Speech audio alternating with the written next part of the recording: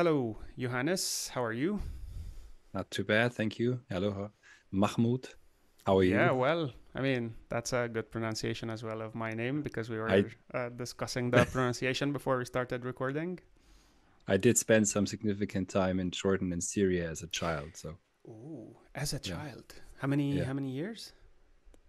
uh, I mean, all in probably one and a half. Um, the longest stretch of time in a row was six months. Uh, when I was six years old, and then over time, more and more, plus Turkey and other places. But back, this is in this. How old am I? This is more than thirty years ago. I'll leave it at that. So early ni- early nineties. Uh, I was six. My sister was three. My parents took a lot of time off from work, and took us down in a Volkswagen to Jordan to Aqaba, Petra, Wadi Rum. Lived with Bedouins in the desert. Unfortunately, my father regrets it to this day that we never made it into Lebanon. We did try to get a visa. We didn't get in. We spent time in Damascus, Palmyra. Uh, so Interesting stuff. I mean, so that it's it's just out of uh, a strong sense of adventure, I presume, not Yeah, my- uh, work or anything related. No, no, my no, my parents didn't work there, and uh, he- my father knew uh, high Arabic, um, so he was able to get around. My my mother speaks French, so yeah, we we did we were able to get around with hand with hands, feet, and everything. We actually did in in Wadi Rum in the desert. We did spend time with the Bedouins and learned how to find water in the desert. Ooh, nice. So uh, if the apocalypse uh, is happening anytime soon, you can probably fend for yourself.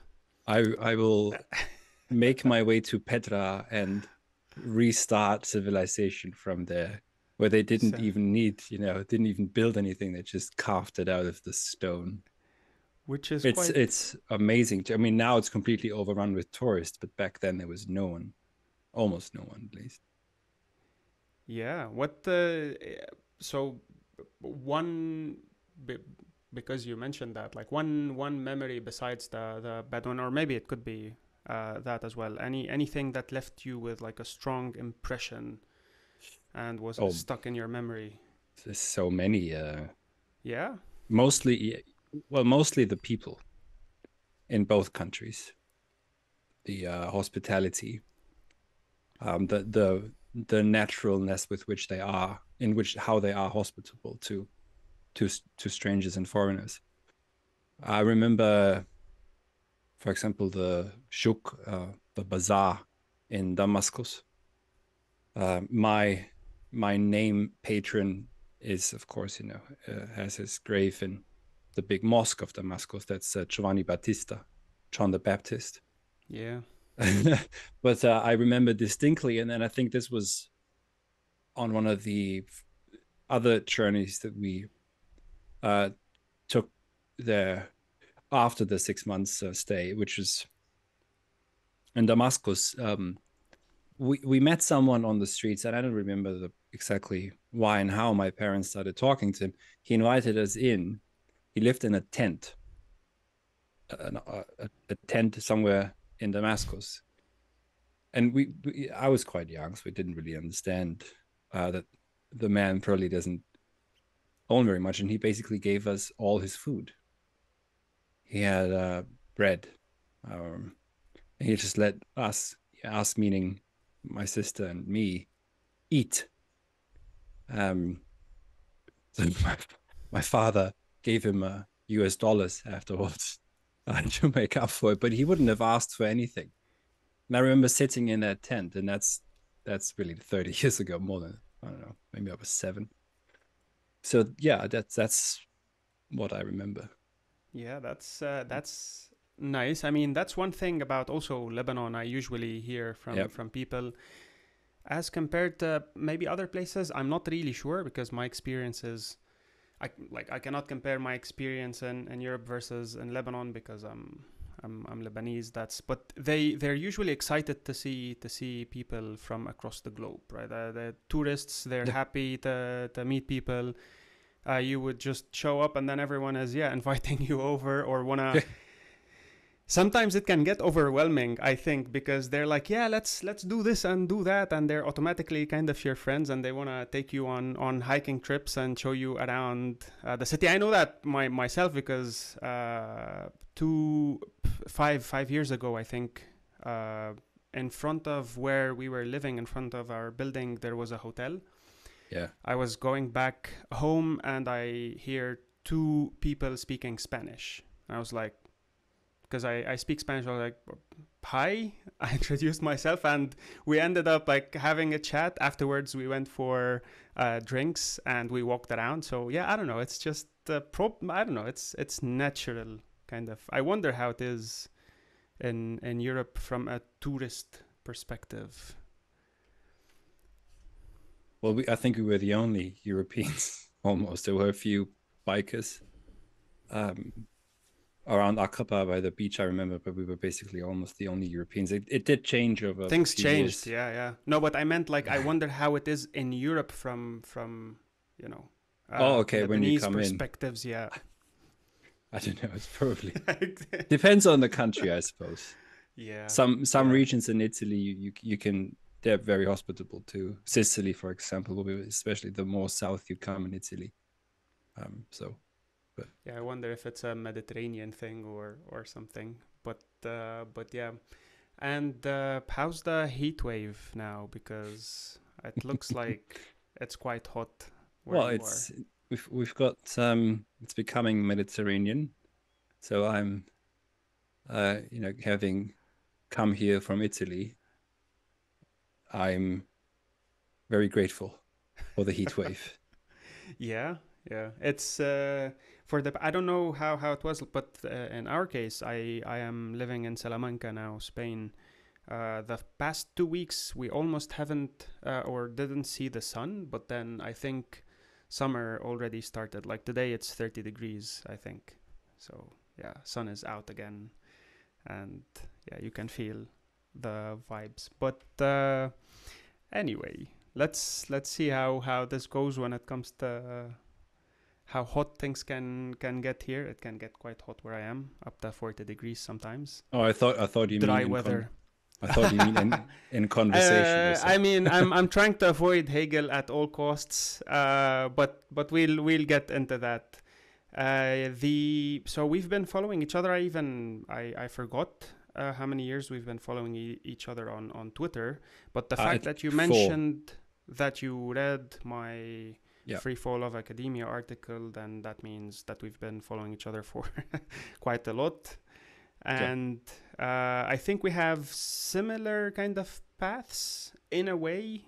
Uh, disillusioned with academia, we teach online philosophy courses, although we differ in our approaches because my approach is more, uh, you know, simple popularizing philosophy, keeping it, you know, at uh, just not more than an entertaining kind of activity. And in your case, you are pretty rigorous and you dig deeper into the subjects and topics you you give. So, tell me about your journey starting you know ever since you i don't know where you you studied Well, so uh, philosophy all the way to how you uh, ended up teaching philosophy online and founding an academy that's so we came back from Jordan uh, in 1991, and I remember that what uh, my sister and I were most pleased with was seeing our toys again.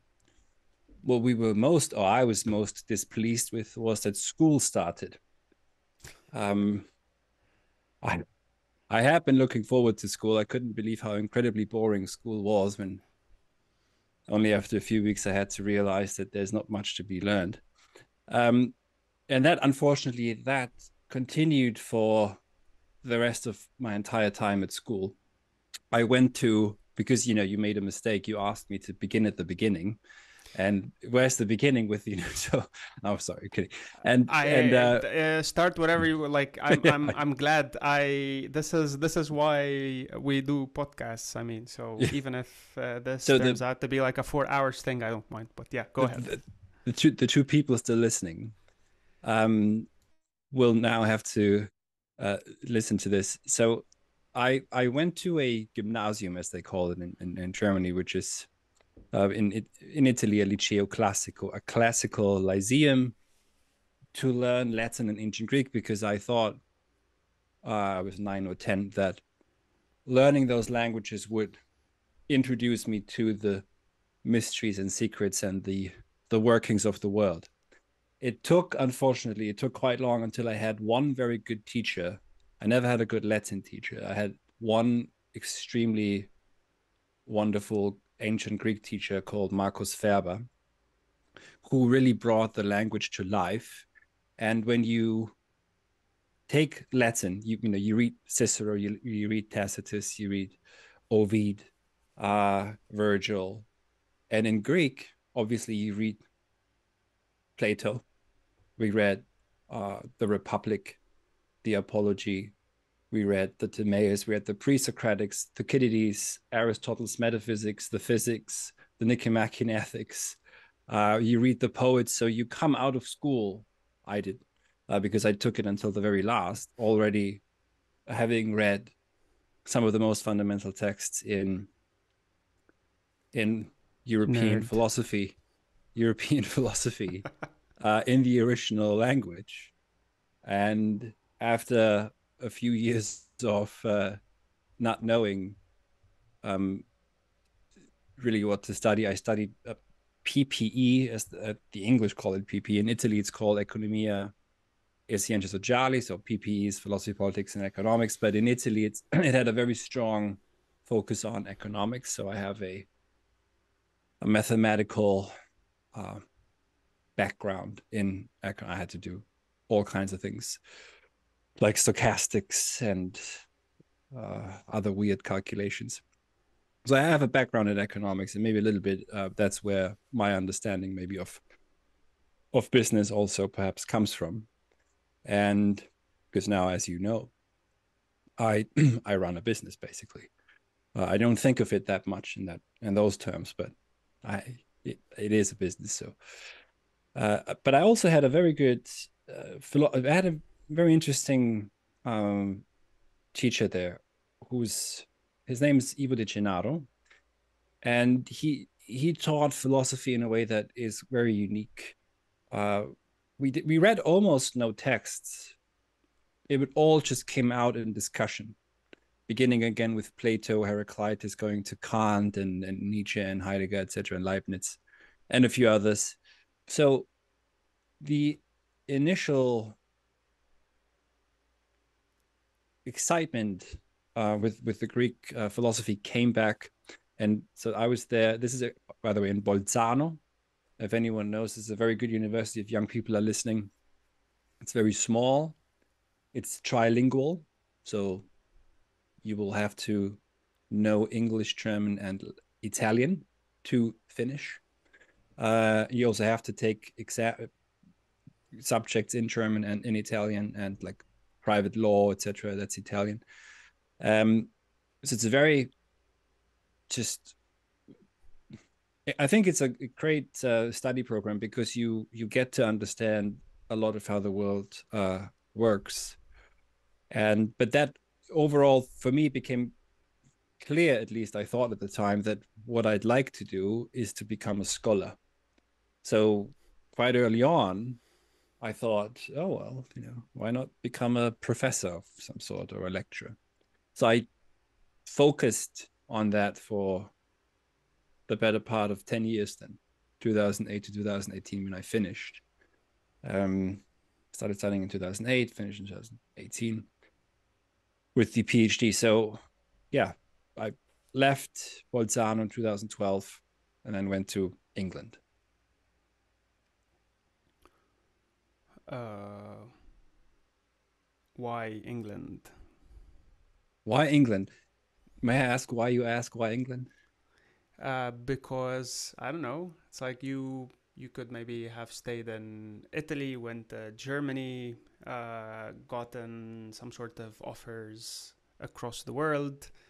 So was it, for example, a job offer? Were you doing a postdoc? Oh no, no, no. I was just, I, I just, so the in in Italy that was just a degree. That was just an undergraduate. Yeah, yeah, yeah. But bachelor's. uh, England. So, ah. well, I did I did my master's there oh, oh, first Okay. okay. uh, at at uh, a place called King's College in London, yeah. uh, not the one in Cambridge, and the the reason was quite uh, simple. I didn't have a degree in philosophy, so German universities didn't accept my application uh, because I lacked five credit points or 10 credit points. And it was absolutely no problem in England. But also, you know, there are these just horror stories about German academia, anyways, if you want to go down that path. And uh, even though it's not great in the UK, at least at the time, still, it would have been a more uh, transparent uh, process um, how you get actually you know, because there are lectureships there are no lectureships in in germany. There's only lehrstühle chairs etc so the, the way to getting to the point of becoming an academic is is longer uh usually more difficult and off very often no one talks about this. Uh most people fail and they fail so miserably that when by the time they're 50 they have nothing they've got Yeah. you know, a professor, they've got the habilitation, but they're unemployable. They're actually by law unemployable by a university by that age if they have not received uh, a call to sit on a Lehrstuhl on a chair. So there's a cutoff age. Don't name don't nail me down. Don't nail me down on this, anyone. I think it's around 50 or 55, but there's some sort of cutoff age when after this you won't be able to receive a call. You may be able to do some teaching, but you won't be able to employ. So it's getting better now, but back at the time it was still. So there's all these stories.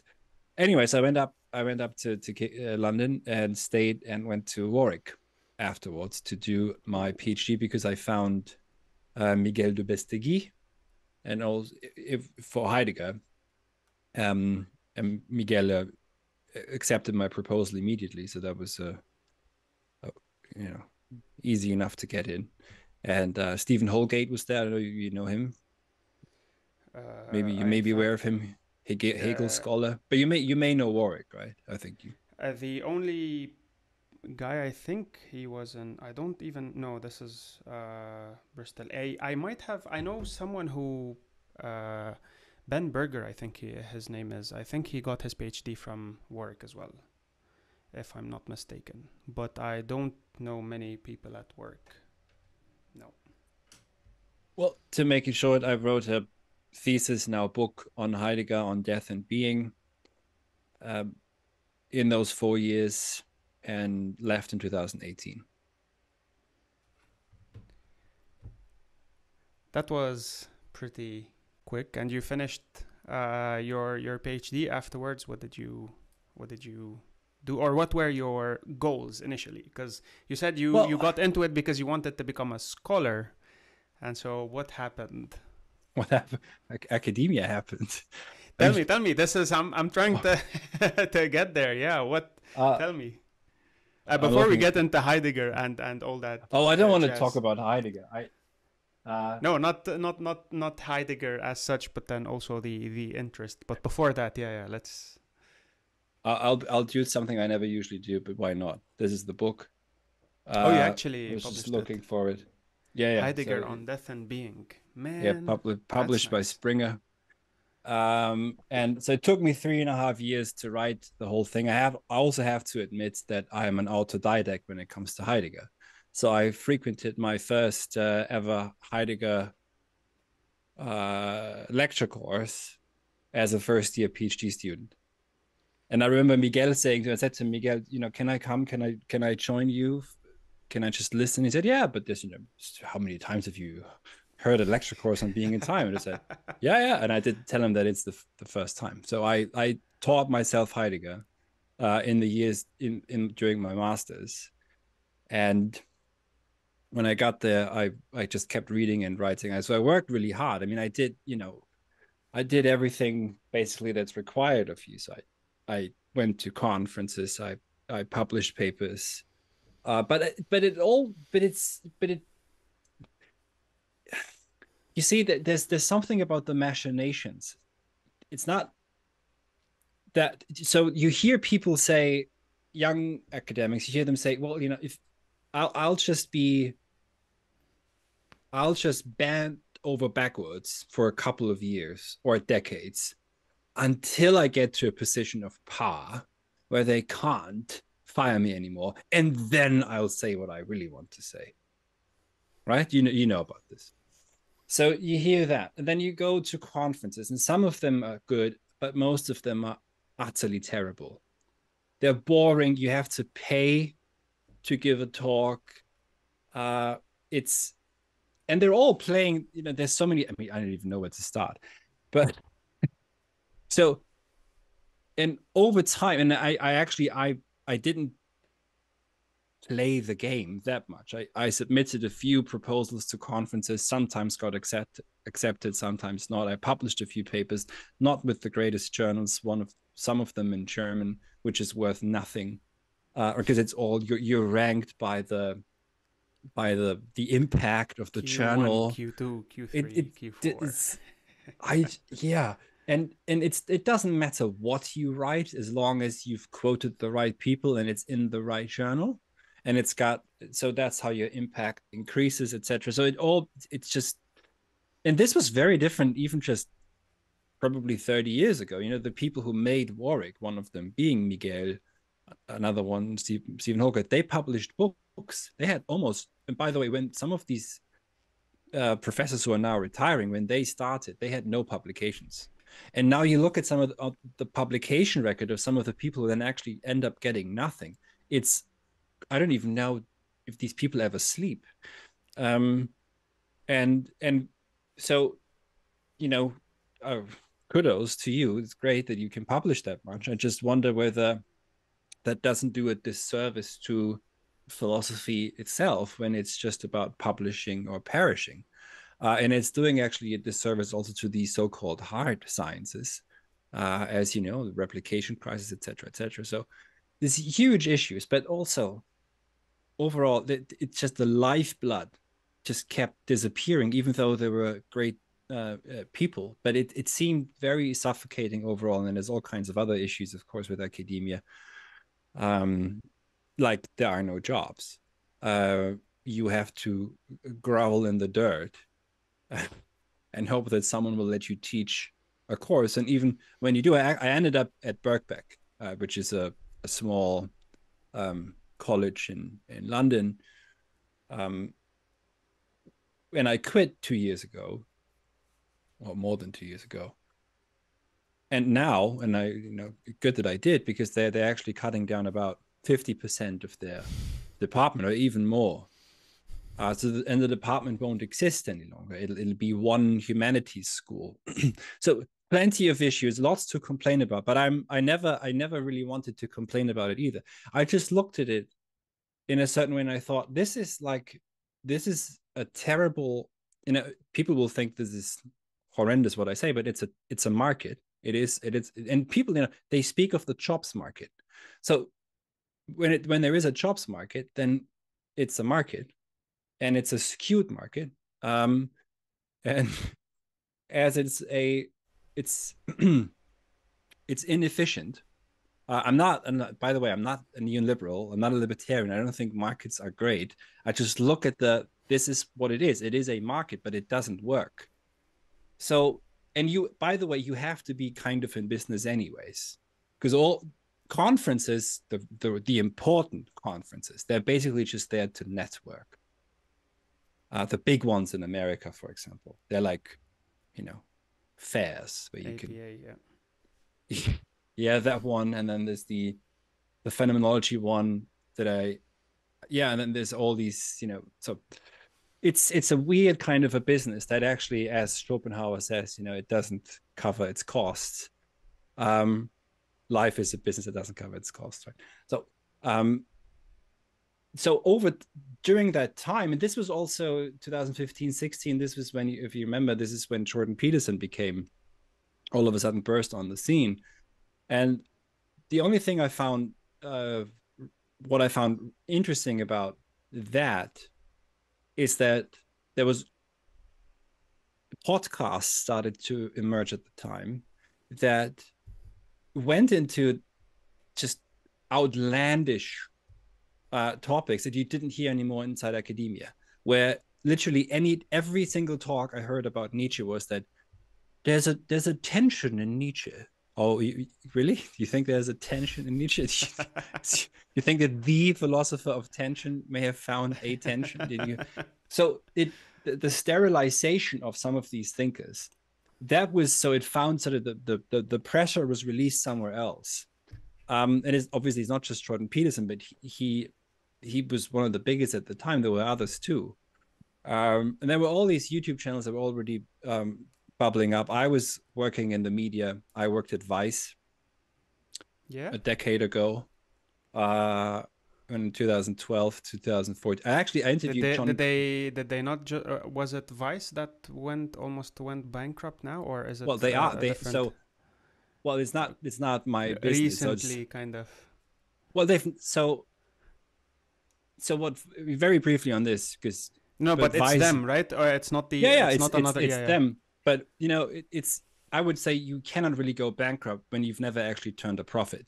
So they've this is one of the excesses of the past decade is that you had companies like vice that produce content that should tell something to everyone listening that content production is not making will not earn you a living like Vice was valued at 5.7 billion dollars. If anyone who believes that it, it is just not really, you know, not really in the room.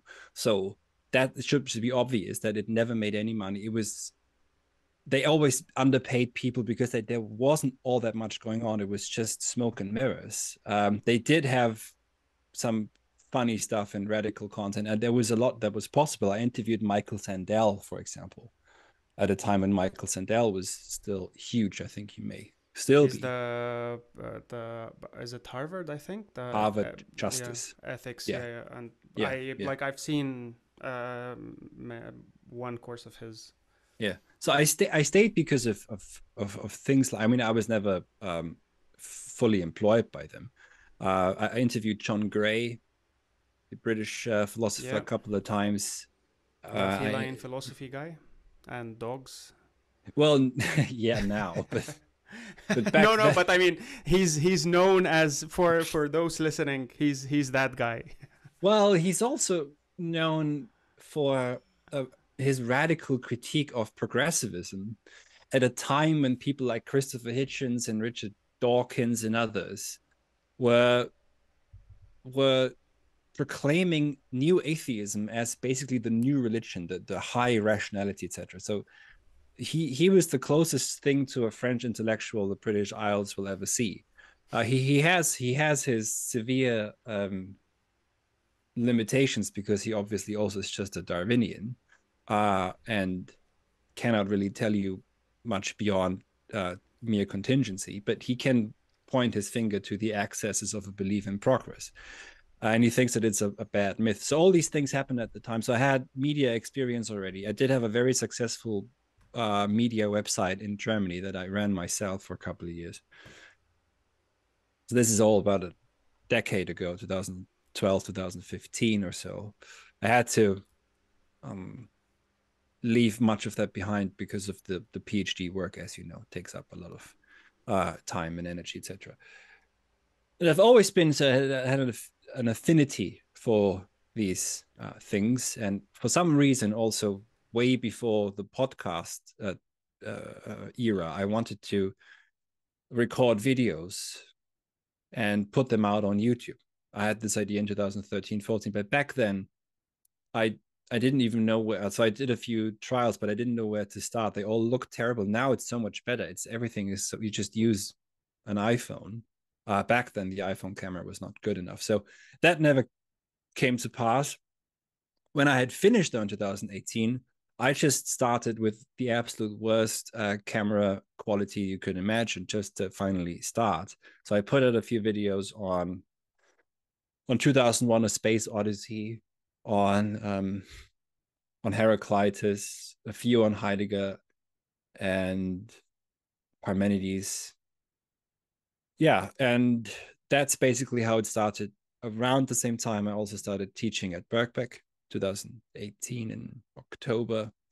I met I lived in London, so I started lived, moved back to London from from the um from the British from the English Midlands, where Warwick is, and met a few people who Adam Adam Toth, for example, who's a great photographer. If anyone's in London, you should uh, you should have your portraits taken with Adam. Adam Toth, Adam Toth. He he filmed a couple of videos of mine, um, so that helped. But it, I had no strategy or so. I actually just used it for for talks and lectures I had written that I knew would never get published anywhere else. So it was an outlet. While at the same time was working towards publishing my book, which you know is a very different way of uh, writing. So I used it for that. Um, but it very quickly led to people like uh, Guy Sengstock uh, reaching out to me. I don't know if you're aware of him. He'd be interesting to talk to for you as well, perhaps.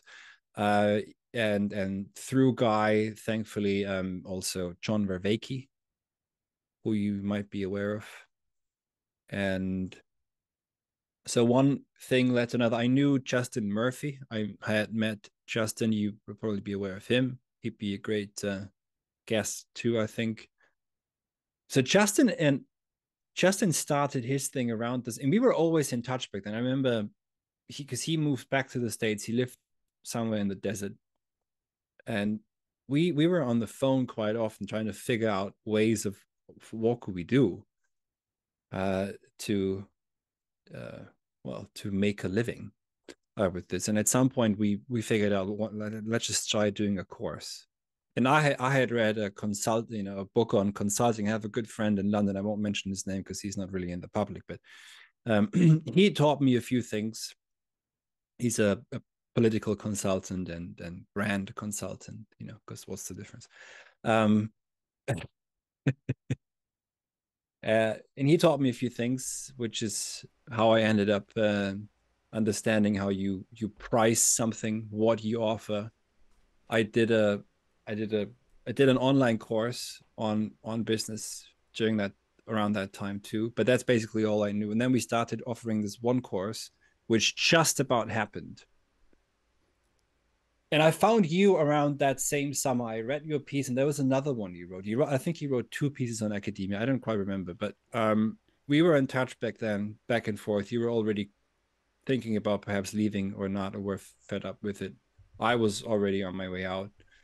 Um, on my way out, at least in the official, because I still, I mean, I, I still go to conferences, but only when I get invited. Right? That's the the funny. The funny thing is now that I don't have a job I get invited to Cambridge, and I, I gave a lecture in Bologna last year uh, on transhumanism, yeah. and um, and uh, I just I just got back from a, Heidegger conference in Tübingen. I'm going back to Germany in October for a small seminar on on Nietzsche. I will be in Bologna next year for a one week block seminar on uh, Umanismo, Transhumanismo, so it'll be probably in Italian. Uh, but yeah, so that's I'm still I have friends inside academia, but I'm free enough, right, that I don't have to follow the rules, let's say. Uh, but yeah, anyway, so we offered the course on Deleuze and Heidegger. That's Murphy and me, and that happened to be just around the time of the first lockdown. So when the world ended, I began. uh, I offered my first, and you stop me anytime, right? Um, okay. That's I, uh, that's good, man. That's um, I'm enjoying this. So yeah, yeah. So, I we offered this. This was on technology. It, it, so first lockdown. Are we talking March? 2020? Yeah, this is March of 2020, and around that time, I also finally published or set up the website for my well, the Halkyon Guild and Academy, uh, which took me because I have no idea how to do these things. I, you know, I use one of these platforms that are easy enough, you know, let you build a website. Uh, it took me a week or so of intense work because I, I thought it's time. Halkyon has has been a name that's that's been with me since 2010 at least, which was a a year during which I intensely read Nietzsche, and Nietzsche quite often speaks of the halcyon, uh, halcyon self-sufficiency or the halcyon uh, tonality or melody. Uh, the halcyon or the kingfisher, the ice bird, is a bird. It's also got. Uh, now you're gonna call me a nerd again, but um, it is. Uh, it's it it comes from Greek mythology. But with even without the mythology, for example, uh, Aristotle speaks of um, speaks of the the kingfisher. Uh, it, the the icebird is is relevant because he the the icebird reads in between um or right around winter solstice i mean. So seven days before and seven days after it when the sea is still. The sea is still and quiet and there's no tempest. The weather is fair fair enough. So in winter when life recedes this bird brings new life.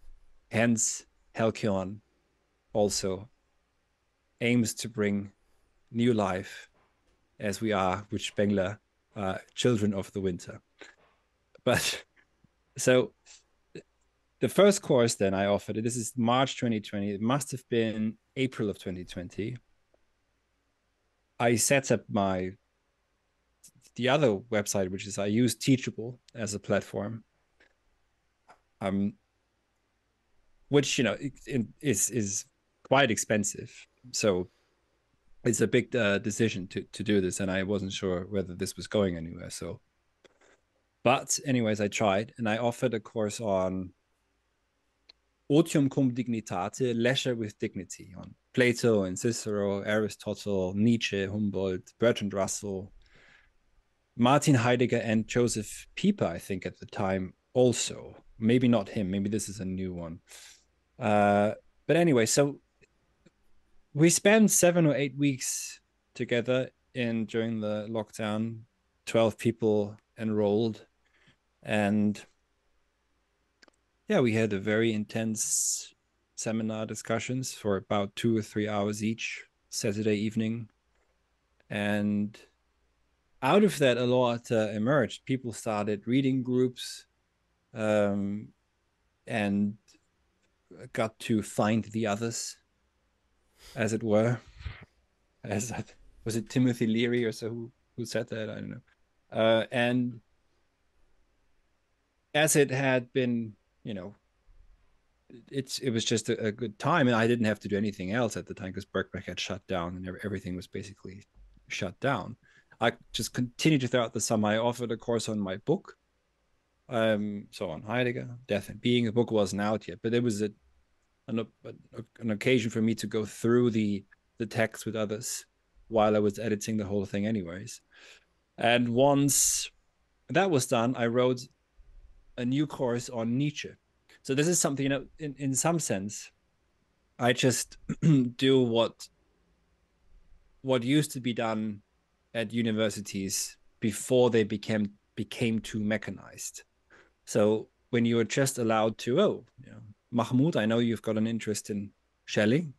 Um, you, so you could just teach on Schelling. You don't have to ask the bureaucrats whether you're allowed to teach Schelling and in what way. And then you have to teach the same course every single year. Because only in this way, when you teach the same course every single year, they can evaluate whether students really like it or not according to the evaluation sheets. So none of this I mean, you look at, for example, what Heidegger did, right? Heidegger wrote one of his books is Introduction to Metaphysics. I mean, the entire text has got nothing to do with metaphysics whatsoever. He talks about Sophocles and uh, Sophocles' Antigone. Uh, is it uh, is in uh, bec- I is it the one where he spends like the first chapter on on being and isness? It could There's be, yeah. another yeah it's, I yeah but uh, because we in, we in, had in the, translation, yeah we had to read that and I don't know if it was intro to metaphysics or something else in existentialism. Like go figure. Yeah. Yeah, or or or or his his teacher. Uh, Paul but yes, Nato. they were all like he he wrote. Yes, this is this is the thing. Like he would write uh, a book based on his course that he's actually and and you see the book like in the book Yeah. you, you it's it's lectures so he's he's talking to his students lectures. and the public yeah it's it's lectures and and none of them are you know sorry for uh, i'm looking for a book. Yeah, No- don't none worry of, don't worry. none of the lectures are this is what aristotle means by substance. Yeah this no, is how no, no, this is this is how we understand substance or essence in aquinas. This is how we do it today analytical uh so-called analytical metaphysics which is by the way a side joke of history that they've turned uh, to metaphysics again but that's a different story. I'm looking for a book and i can't find it. It's okay that's it's it's by paul natorp that's one of heidegger's teachers it's called philosophische systematik philosophical systematicity and Natorp, in that, that's a lecture series too. You hear the title, you think that's the most boring thing ever. Um, and it turns out to be, by the way, here's one by Schelling that you will probably appreciate. Philosophie der Mythologie, philosophy of mythology, presented once in Munich and somehow preserved for posterity. I'm reading this at the moment.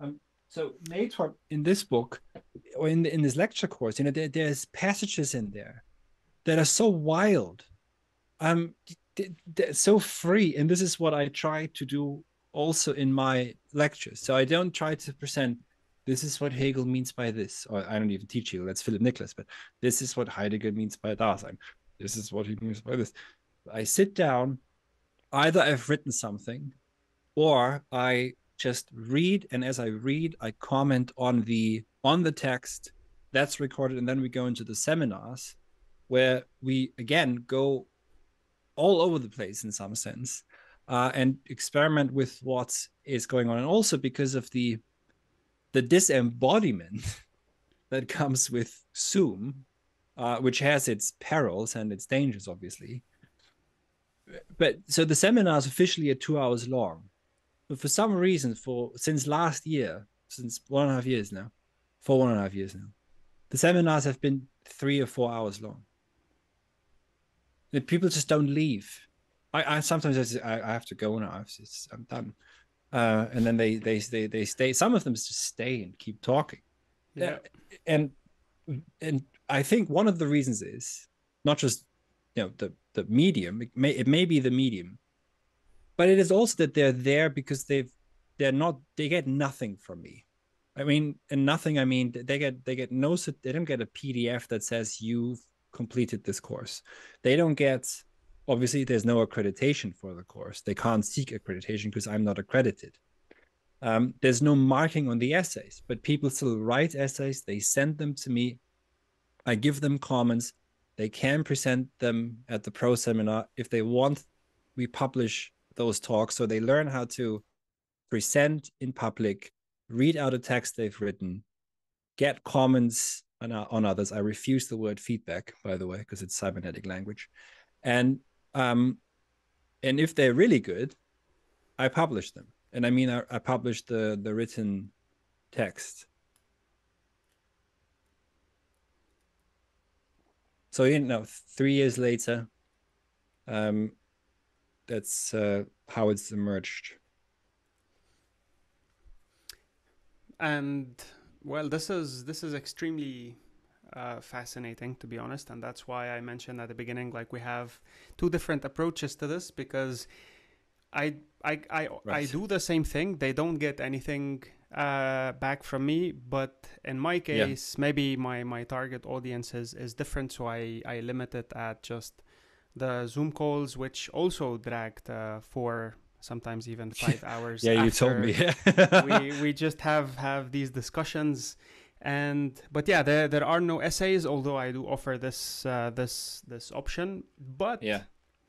but yeah you're you're right so this is there are several things here uh, because you mentioned you know the the course as a as an ongoing process where you're testing new material kind of. I wrote an article a few uh, weeks ago about praising the process which is not like in praise of the process.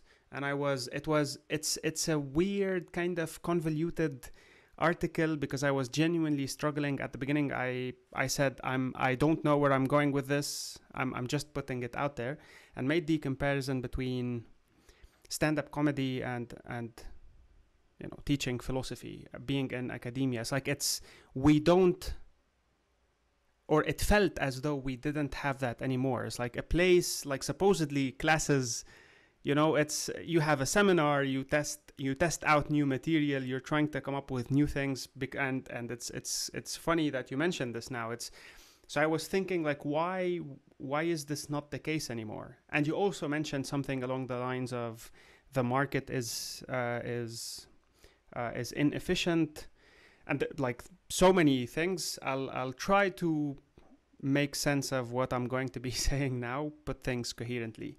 So one based on everything you're saying. Don't you think that the way academia has become now, and this has affected the way classes are given, lectures, etc., and conferences and, and, and the publish or perish, don't you think this is this kind of uh, mechanism has been introduced because now uh, there are more people graduating with a PhD in any field than there are uh, slots open. And so, like, eventually, maybe 30, 40 years ago, and you're right, you go on JSTOR and, and you find like an article written about Schelling, and you read it and you're like, seriously, it's like this guy published this in this journal I am almost sure I can like I wrote much better stuff than this person and I cannot even get it published in a Q4 kind of journal. So don't you think that they somehow needed to put some sort of mechanism and this is like to just give academia the benefit of the doubt and you know how much I I I dislike how things are being done now. So but it's at some point like they need to control find some sort of between brackets, right? Objective criteria. You, yeah, yeah. You, like you know. No, obviously. And this yeah. is why ultimately this affects the way you you pub you the courses are given, the courses that are being etc. etc. And because we, I well, I'll exclude myself, you, because I honestly, my my kind of stuff is is different. It would be, as I said, popularizing philosophy. I'll leave the uh, more serious stuff to you, but because we are we don't have we don't need to prove ourselves to absolutely anyone except for the actual market. It's like if people keep signing up for your courses then you're doing something well. If people stop signing up then you're doing something wrong and this can be so like your signal is much different than your peers trying to judge whether or not your material is is good or bad. I don't know if this makes sense. So i said so many yeah. things here. I don't know what you what you think so yeah they they had to introduce certain things but also just you know certain let's say mechanism but that's so i think the root cause for this is the so-called the massification of the university which which means it's not just a mass overproduction which is a horrible way to phrase this but that's how it's put right of phds i mean that already tells you something about the entire so-called mindset um and of of of academia, um, if we can speak in those terms. So the, the the massification, I mean, is that the the assumption is that basically everyone has to go to university.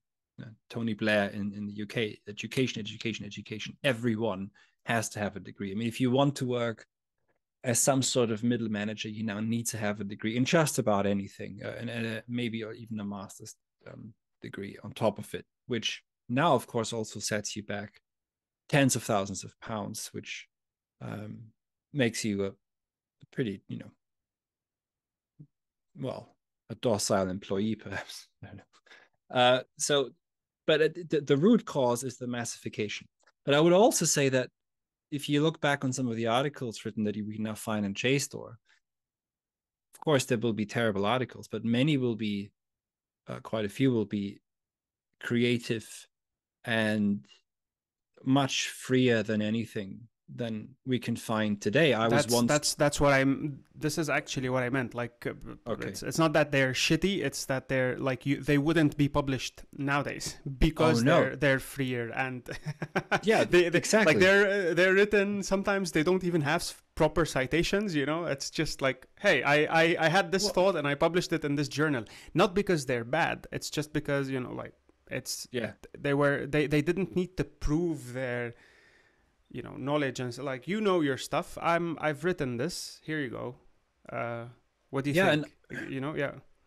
So you, you think of, for example, also the, the, just the PhD itself. I mean, you know, Heidegger's uh, doctorate thesis. You know, you said I was very quick with my PhD, and I and I was, and I, I will have to say this. I mean, if if if you know, if someone takes seven eight years or so for a PhD in England, uh, maybe they're not really cut out for it anyways because they're not very long uh, in England. So, uh, but that's a different story, right?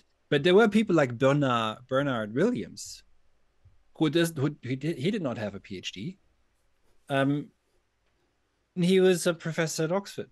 He was actually a, uh, one of the teachers of one of my uh, good friends, who's also within without academia. His name's Simon May. Um, he's a so-called visiting professor at King's, which means that he doesn't have very much to do and he's free to write books. Um, so it's the, the the overproduction, the massification of the university itself. That's that's the fundamental issue. And I think if universities want to survive, they will have to become extremely elitist again. They will have to go back to being. Many universities or so-called colleges will have will have to shut down. Uh, so, but this is an overall, you know, how do you save the educational system? There's nothing wrong with going into vocational training at the age of 16 uh, my father didn't study. He does, you know, he, he doesn't have a, a PhD in art history. He's a restorer. He restores churches and castles. You don't need to study for that. People now study for this, and they come out of their studying, their studies, and they walk into a church. They have no idea how to restore the church. What we're seeing now in Germany, also unfortunately in Italy, um, with an overproduction of people with masters of science in restoration is that they have no sense for the building that they're in no sense for the environment in which it stands what a church is to a village in a certain time that's unimportant. So there's a lot of destruction actually that's happening uh in in in, in restoration um by overly educated people. Um and that is an issue uh and so but on the other hand i mean there's a bit of a the paradox of course is that i would not be sitting here without decades of first reading latin then greek which i would say is also not for everyone. And it doesn't have to be for everyone. Why would that be for everyone? And then also of course i did a i did a phd and that gave me years and years and years to myself. Um so in in the future the question is for me and this is something i'm, I'm working towards is how this can be achieved outside uh the uh, uh, uh, academia and i think though that it will come about just in the way in which for example someone like williams became a, teacher he basically um well he's he stayed uh at, at oxford and became a fellow and by being a good teacher and being recognized as such, he was just able to stay. And I think outside academia, it will be similar. You'll find people who come in, they turn out to be really engaged in the seminars. They put in the work, meaning they write or maybe even, you know, do podcasts or publish videos. And you'll see them over years, over years, over years. And they, if they keep at it, then they will become a fellow at one of you know the for example my institution or someone else's um, and so will build up their um, their or will make their own path in that way I see. This is this is yeah maybe, uh, and I I agree with with that. But um, I was a part timer at at one of the universities I taught at in in Lebanon for seven years. yeah I have a PhD in philosophy. They have uh, my student evaluations over seven years, two courses each semester. And despite that, I was still kept as a part timer. Yeah. For political reasons, so it's like even sticking is not is not a guarantee. And yes, for political reasons, in in this particular university. Yeah, that, so but that's that's it's that's it's, what it's, it's, quite interesting that this is this is a thing. It's like nowadays it's you you can't even guarantee that because everyone is like anyone can show up and they'll be happy to teach as a part timer because of the job market. And then so at one Yeah. point I was like, yeah, screw it, I'll I'll leave, and I left. Yeah. No, but I mean, this this this is what happened. You know, what, what was possible for Williams at, at Oxford could, I think, will now become possible at places like yours and mine. And, and I remember seeing um, something from you that someone who had taken a few of your seminars is now teaching his own course, if I remember correctly. Um,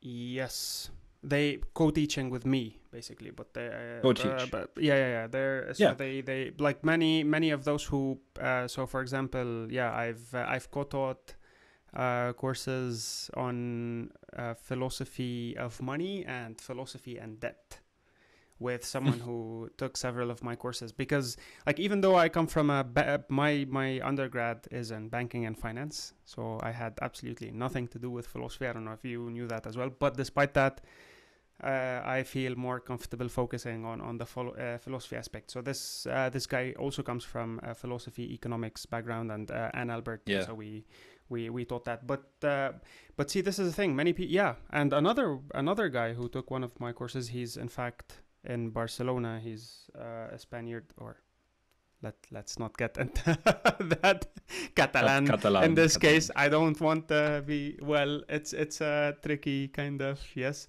but he he took one of my courses, and yeah, he eventually now he's he's given uh, one course a few a few months ago, and just recently he finished another one on moral dilemmas. So yeah, there's No, like more people are, are doing that. Exactly. The, the same has happened uh, for us and and also so at halkyon but um and but it doesn't and it's all very early stages. So this is the fourth year. Officially I, i'd say we i started this in march or april of 2020 so three years and two months if you want to be precise. But uh i uh, what i've seen is um, and, and now it's at a point where actually people ask me if they can teach um, a course like right i'm not going to mention any names but uh, um, so some people are asking me if they can teach. Um, john vervaeke of course i i asked myself if he would uh, be so kind and teach a course but i can't speak for him but i would i would i would think that for even someone like him who's as you know very active on youtube the the what's what's appealing is that he can now teach a course beyond nihilism which is basically the the second part to the awakening from the meaning crisis series um, without any red tape. So he doesn't have to ask anyone. He doesn't have to tell me which authors he's going to read. Um, i don't have no oversight over what he's going to teach. All he has to do is show up and he will be prepared because it's John Vervaeke. Uh, and and then he'll teach the course. He'll come in. He lecture. He lectures for forty five minutes, and then people can ask him questions and have a group discussion with him. Um, and he does so. There's no. Uh, yeah, there's there's nothing stopping him. And yes, There's so, no micromanagement. this is what I do. So when I agree, even even when I invite someone, I invited Hani Hassan to teach. Uh, I know him from from university as well. We were uh, colleagues at UB, uh, and I invited him to to give a course on Islamic philosophy because this is his his stuff. And he was like, "Okay, so what do you want me to do?" I was like, "Man, just like you do your thing." I'll pay you. That's it. we're Yeah. we're done Yeah. he shows up And- and he does his things because this is what like you know so so uh, I have a I have a suspicion that you probably like Star Wars. i do like star wars yeah Yeah, because only so I I don't know. You know, speaking of nerds, Um, but if you remember, Anakin Skywalker is rejected by the Grand, whatever the official title is, the Grand Council of the the, the, the, the Jedi by Yoda and the other schmucks um, because he's too young. I mean, he's incredibly talented, right? So, and talent will find its way. So he finds his way to Lord Palpatine. Um, because no, you have to wait. You have to wait. You no, no, no. Wait another fifty years until you're ready. Uh, this is where academia is at this point. You, you. Plato? So we, Anyone? why Plato?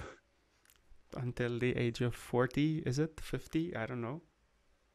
Well, okay. There's nothing wrong with waiting in a certain sense, right? Uh, Hmm, got you there. no, no, no. Careful, careful. So when Yeah, yeah, tell me, tell me. But I'm, I'm curious. Like, I'm genuinely curious as to how, as- how would you? Because some people would tell you you need to get a certain level before you can blah blah blah, and then to you know. So how would you? well, you always need reconcile? both. You always need both. Nietzsche says you're you're a child uh, at the age of thirty in high culture. Uh, to to quote him here briefly, but here's what's strange about academia. To give the counter example, in the beginning, you have to you all you have to come out of the PhD having published at least four thousand papers, and you need to have given fifty thousand talks uh, on on all planets in every galaxy and only if you've done that then you may be able to get a postdoc. Maybe. If you've got the right friends at the right time also. That's the part that no one talks about because it's not actually that impartial. Also publication by the way is not that double blind as people think. Agreed. right?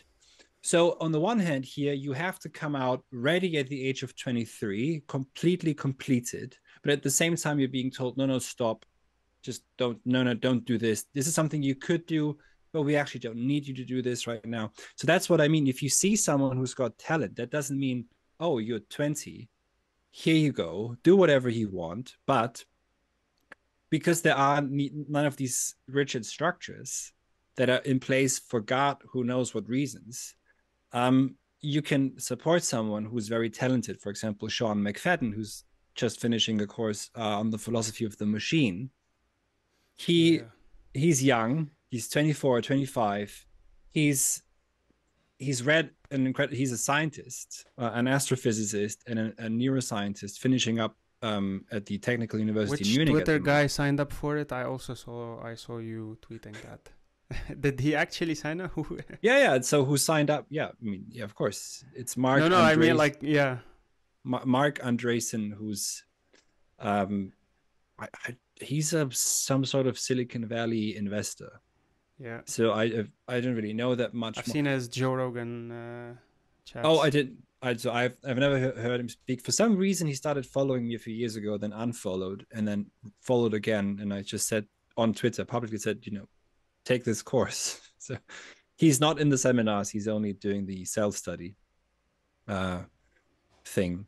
But so Sean, obviously, you know, uh, and then in general, someone, anyone who's who's young and who who's good should be supported. So we'll, we'll just see what happens when he teaches a course. He did very well.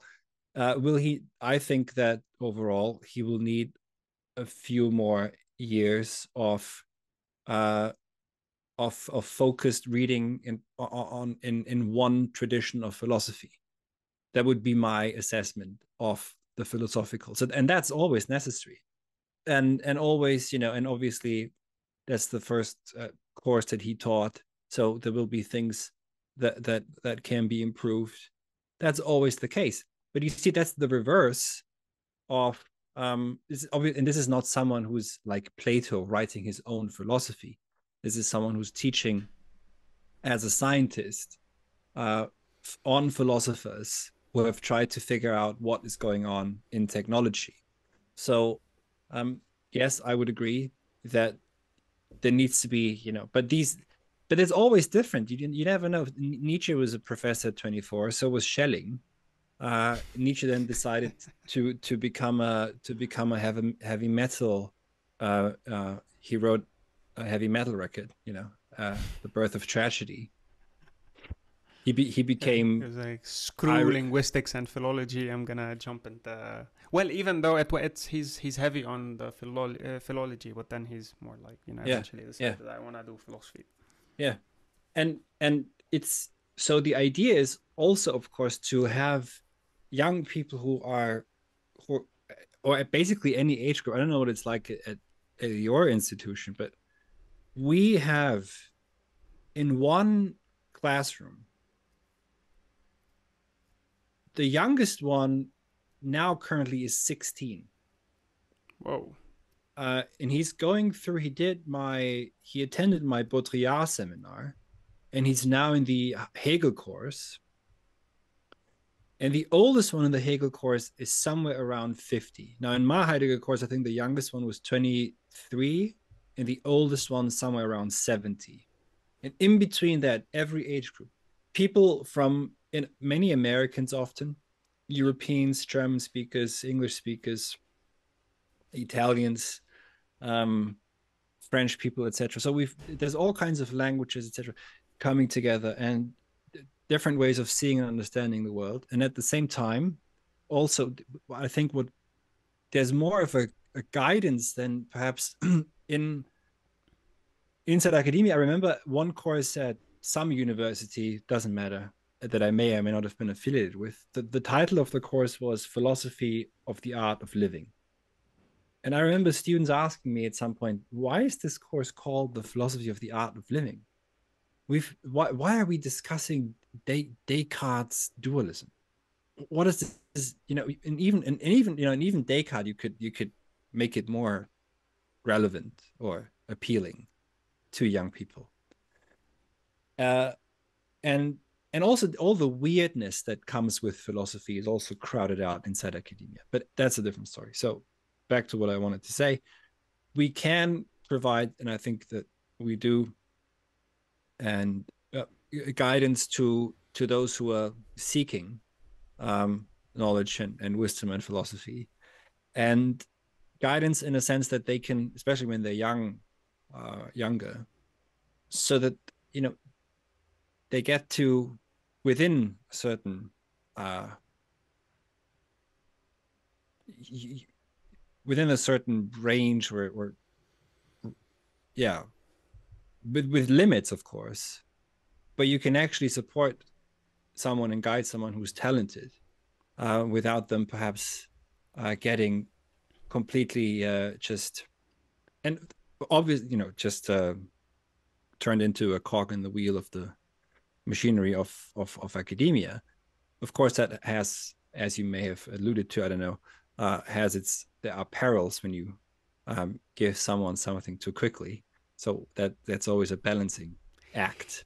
That's but this clear. is this is this is why perhaps like focusing like they need to get their uh kind of priorities straight and i do understand they Mm, like, wha- mm. it's not the same great research is is important right uh, if you're doing physics not if you're doing philosophy like research you know and the and the you go to the lab and you do research and you have to produce data right? this is like you have to come up with data and do your all sorts of research stuff to come up with new hypotheses or test hypotheses that are ongoing and come up with a new theory eh, blah blah blah right?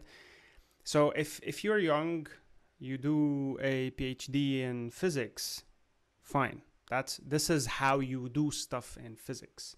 But Mm. when it comes to the humanities philosophy particularly and and maybe uh, fine well arts in general sociology is probably different because of the way things are are done there.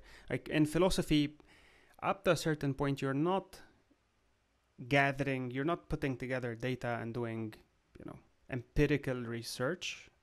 Yeah. so perhaps if they but even for me even in physics or any any academic uh, field like maybe they can establish some sort of structure or a program such that okay you get your phd but then if we hire you the first five years you need to uh, apprentice into the art of teaching because this is not something easy that like i when i first started teaching of course i, I was 24 also i gave my first course you learn a lot by actually te- even if you did uh, GA before, it's not the same because now this is your course, you're Yeah. responsible, etc., etc. Maybe five years to do that, then you incorporate this. You have a sense of where you are, how you teach, uh, make the subject relatable to the students, and then afterwards you can move on to apprenticeship and research, which I know you have to do when you're doing PhD, but then it's not the same.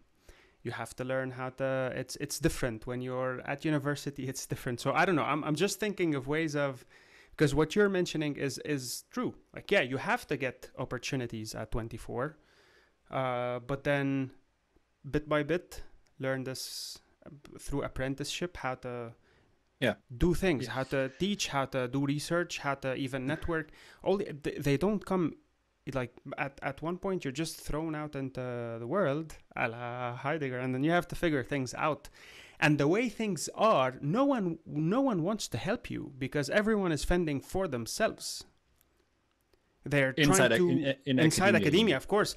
And this is the the mind-boggling thing because in on social media and in, in this world everyone is helping each other out.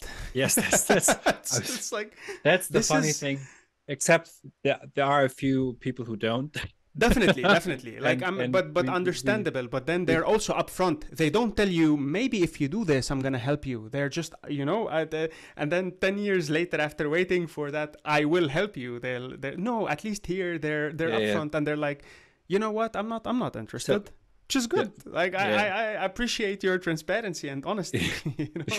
Yeah that's striking. I mean i mean some over the years i've seen a few who have tried to to basically become the monopoly offerers of of online courses which uh is if you know anything about the internet is completely impossible. And many have failed by the way. Even academies like they're they're gone. Oh yeah. They, they, Yeah, they should go. I mean they, they yeah because yeah. this is not in the spirit. I mean this is so this is the funny thing. Mahmoud and i are by from the outside competitors right? We could think that well i shouldn't like anything that uh mahmoud puts out on his course on philosophy of of science which is something we don't offer but that's what people really like. If i like this then maybe someone who follows me and he will go to his courses and maybe not come back. That's the that's that's literally what happens inside. This is also something i noticed about people inside academia is that they it becomes almost paranoid that you you don't discuss certain ideas you don't say everything because you you're scared that someone might uh take away this is so these some of these seminars become really sterile. And, it, and i was always attracted also to the people who had also basically already left internally um when they were when they were in academia. Even and even now the the people that so i went to this conference in tübingen the the gentleman who organized this doesn't even have a doctorate. He worked in the administration of tübingen university. And uh but it was always he so for in his, his entire he's now retiring his entire life he's been teaching. And he's he's built his own uh publishing house where he publishes uh his friends and and and others uh in german philosophy most broadly speaking heideggerian phenomenology. Um he he found someone a, a private donor to fund his three heidegger conferences. I've there's nowhere else that i learned more about heidegger's thinking than at these three conferences. Someone who doesn't care. Ivo De Gennaro in in italy has a position and he's a very good teacher but he also has had for many years with friends uh, a website where they publish their own articles. Um, so they did that started doing this decade almost 20 years ago i think. Um yeah. But on and this is on the margin because it, it kind of reminds me a lot about how things were done back in the day as well. Adam smith or and and and people before like you know uh, the schlegel uh, even schelling and all these people they were paid by how many students they had? Like you needed to ha- so even though they were affiliated with universities you had to have students sign up for your course to be paid you know so it was it was kind of they had to get stu like so it wasn't you know like how things are now you even though now they can close courses etc but it was And- pretty yeah. much like it, it was very different back in the day so and they all started their not all up to a certain point. They would start their Yeah. own public, you know, editorials, publishing houses, etc. Look for funding besides the university as well. So it's Yeah. Like So- this is it. It's always striking me as something that's been almost the norm, but then somehow. Well, what's also been the norm is that philosophers are outside the academy. René, Yeah. René Descartes is outside the academy, so is uh, Leibniz. true, uh, true. Um, Fichte was fired. Uh, Hegel, for some time, was an editor Yeah. uh, of a newspaper. and and Kant. I don't know if he had like I think Kant got his first uh, offer at forty or something. much, I think, at 50. So, but Yeah. the Kantians will scream in agony because it's wrong, both of these numbers. But he was he was past 40, maybe not quite 50, when he was finally received his chair. He was a a Hauslehrer. He was a private tutor. Tutor, Before. exactly. Uh, Nietzsche left academia because he was dying from it. Uh, but this is the thing. It's like things that have been normal not only 30, 40 years ago, but way before. Now they the way- look at you and they're like, "Oh, you're you're you don't want to be in academia," and it's it's as though it's weird. It's like, man, this is how things have been forever. I think- you know. yeah that's true but i think that's already changing i you know um st- students the young ones especially they they honestly they don't care if some i mean they don't really care if you're a professor somewhere. What they really care about is whether you've got anything to say. Uh and they they they're on youtube.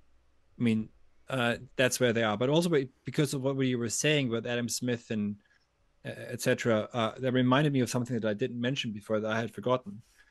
Um one of the things that maybe people are not aware of is that especially in america but this is already starting in continental europe as well is when you apply for a position it doesn't just matter how many publications you have and in the background which network you have which is never published uh, but it has a- but also you will you will have you will on on your cv you will have to mention how much you're worth it's the most bizarre thing you can find uh, publicly you can find CVs published by big names in philosophy where they detail precisely how much money they've gotten from which funding body.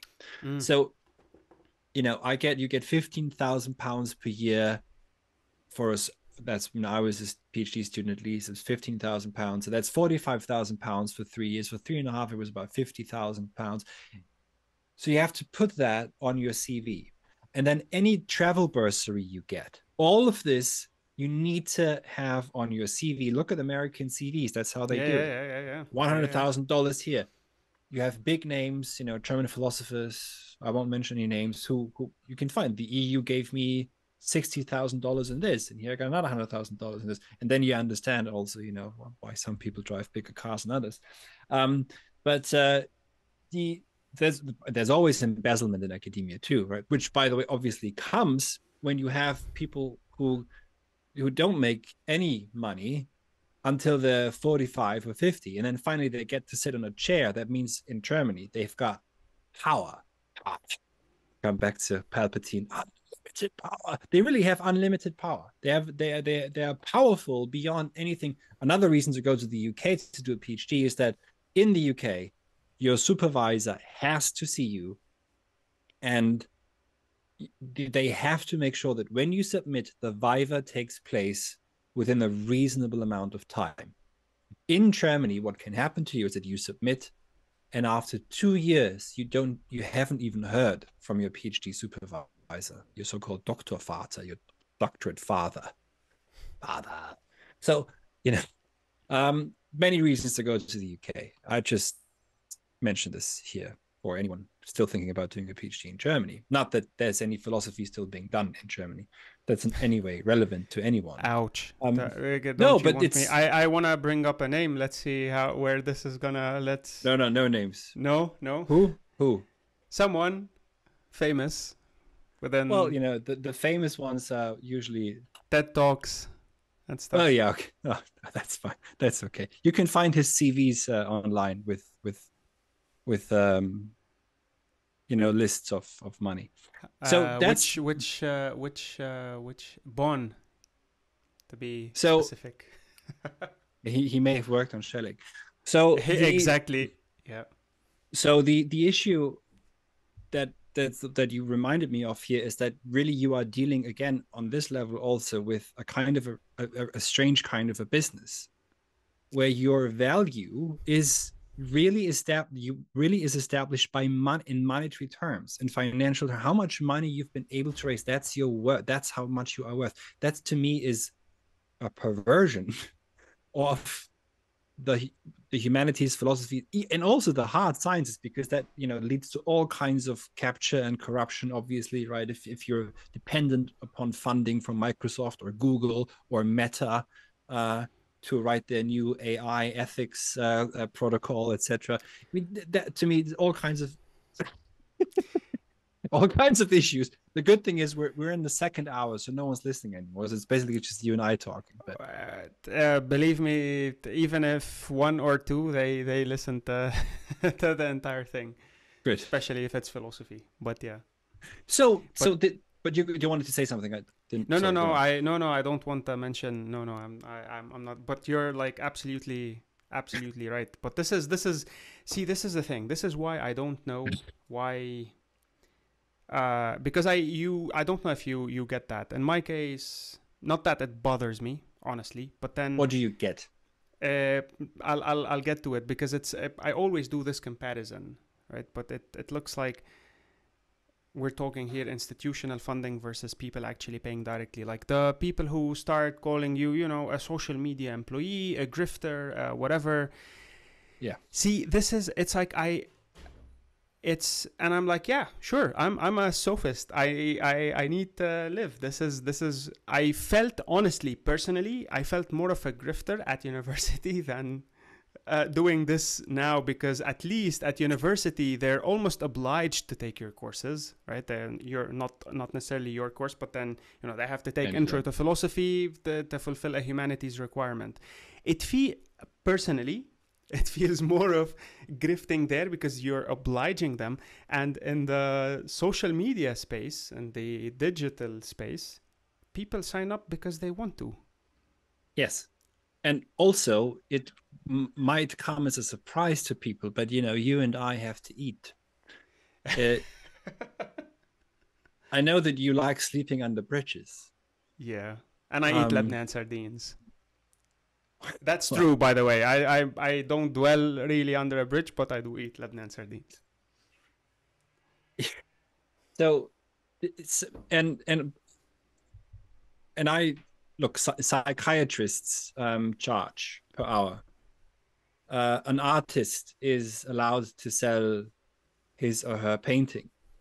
Uh, a novelist is allowed to um, to sell their books. So is a poet. And why shouldn't an institution like yours or mine, a, a school of philosophy, be allowed to charge an amount that allows that school to persist and grow and provide something that is, I would say, a need. It is philosophy is a human need, like food and shelter. Uh, we, you know, it's not just um, entertainment. People come to your courses because they, for some, you know, it's not just oh, I want to read Sartre because Sartre is a big name, because Sartre expresses something of the human condition that even though of course I have to disagree with Sartre in many things or many things, but Sartre expresses something because I know you've you've taught on existentialism. Uh, the existentialists express something, have articulated something, what it means to be human in a post-Christian time, um, and hence they address something that's fundamental about who we are as we try to articulate who we are. Now, I don't the, the I think if if the if the motivation is to make money, that's when it becomes sophistry. By the way, I think there's more sophistry inside academia for all the reasons that um, you and I have mentioned. Uh, and also because, again, there's no certificate. So there's no external val- validation of these courses. There's there's literally just once the strange thing that happens is this. Yeah, obviously I sell a course like you do too. I, I go on Instagram, I go on Twitter, I go on YouTube. But it's not I, I don't have any paid ads. I don't promise anything. Like I never I never say you will walk away from this course having understood Heidegger. I ba- I basically say you'll come in, you'll probably go away more confused than you came in. Um, you, uh, there's a dislodging that happens and that's when my job is done you know we walk away kind of completely confused or maybe uh, on a different sphere but we can't really put it in, into words. And that's something that happens in these seminars that has never happened when i taught at university. You know here's a story i always tell. The first course i ever taught or seminar as a ta at warwick was in greek philosophy. And greek philosophy is dear to my heart. It's after all it's the beginning. First seminar first year students first semester. So these people are at university a day, right? They come in and I say nothing on purpose for about four or five minutes. I say nothing. I just look at them and they get very nervous. I've never seen people so nervous, you know, phone and everything. Always. Then I say, Why are you here? Why are you here? And the response I got from one of these young fellow travelers was, uh, is this relevant for the exam? By which, of course, this young bloke meant to say, to tell me, come on now, this is five minutes wasted. You need to get to the material so that we can know what to learn by rote, not by heart, but by rote, so that we can regurgitate it um, I've heard, by the way, recently from someone in Italy that they're now offering uh, multiple choice tests because they have so many students. Well, you know, and at some point, ChatGPT will just do the chat the, the multiple choice questions for you, and then they will have ChatGPT answering the, the multiple choice questions. So why why even go to university? You basically just pay. You, you pay. You pay. They they you, put up. The, you pretend they, that you work. They pretend that they pay you as more. Yes, yes I don't even know if that's something he said allegedly. So yeah so exactly so we've got we've got this really bizarre situation where um there is inside uh so in in in in a, in institutions in germany i would think and i've seen those from the inside too there can be great seminars. There can be great seminars everywhere. There are great seminars in, in at british universities obviously right? There are wonderful teachers. But now generalizing a bit and that's maybe a bit unfair, but still, I think within Germany, the incentive is to become a professor and have the title and have the standing and the privilege and the status that comes with it. Right. So you've got that as an incentive. That's the same incentive you have in British universities, but in British universities, you also have on top of it students sitting in front of you who are there, who are going into debt to study philosophy. So the the strange thing is that that that, that never leaves that that tension of and of course some are wealthy they don't have to worry about money. But most aren't. So they really need to get to it. And there will be others i mean i had great students too. I had an italian student once who after 10 weeks of uh, heidegger lectures with miguel and a few seminars uh, i was a ta for that course back then he said oh it's changed my entire thinking. I, I used to think that we are just economic units because that's how I was brought up. But now I'm, I realize we're always with others, and that I, isolation is only possible because of this being with others, uh, etc. So it can change, and there's still good work being done inside academia. But overall, sorry, it takes me long to get to the point. Overall, once the selling for my courses, the offering, I mean, basically, I'm not selling, I'm offering a course, and people are free to join as they are in your school. Once they're inside, none of this matters. They come in, they're excited, and everything else is forgotten. It's completely enclosed. It's something that they do for themselves, that do to themselves, perhaps also uh, on the weekend, in my case. Um, and that's it. They they come purely for that. They don't come for. There's no. I mean, maybe there's a little bit of recognition when you get you know published on on my YouTube channel where you get what two clicks. so I mean, so there, there there is that of course also. Uh, so there is recognition, but recognition is not. There's nothing wrong with recognition.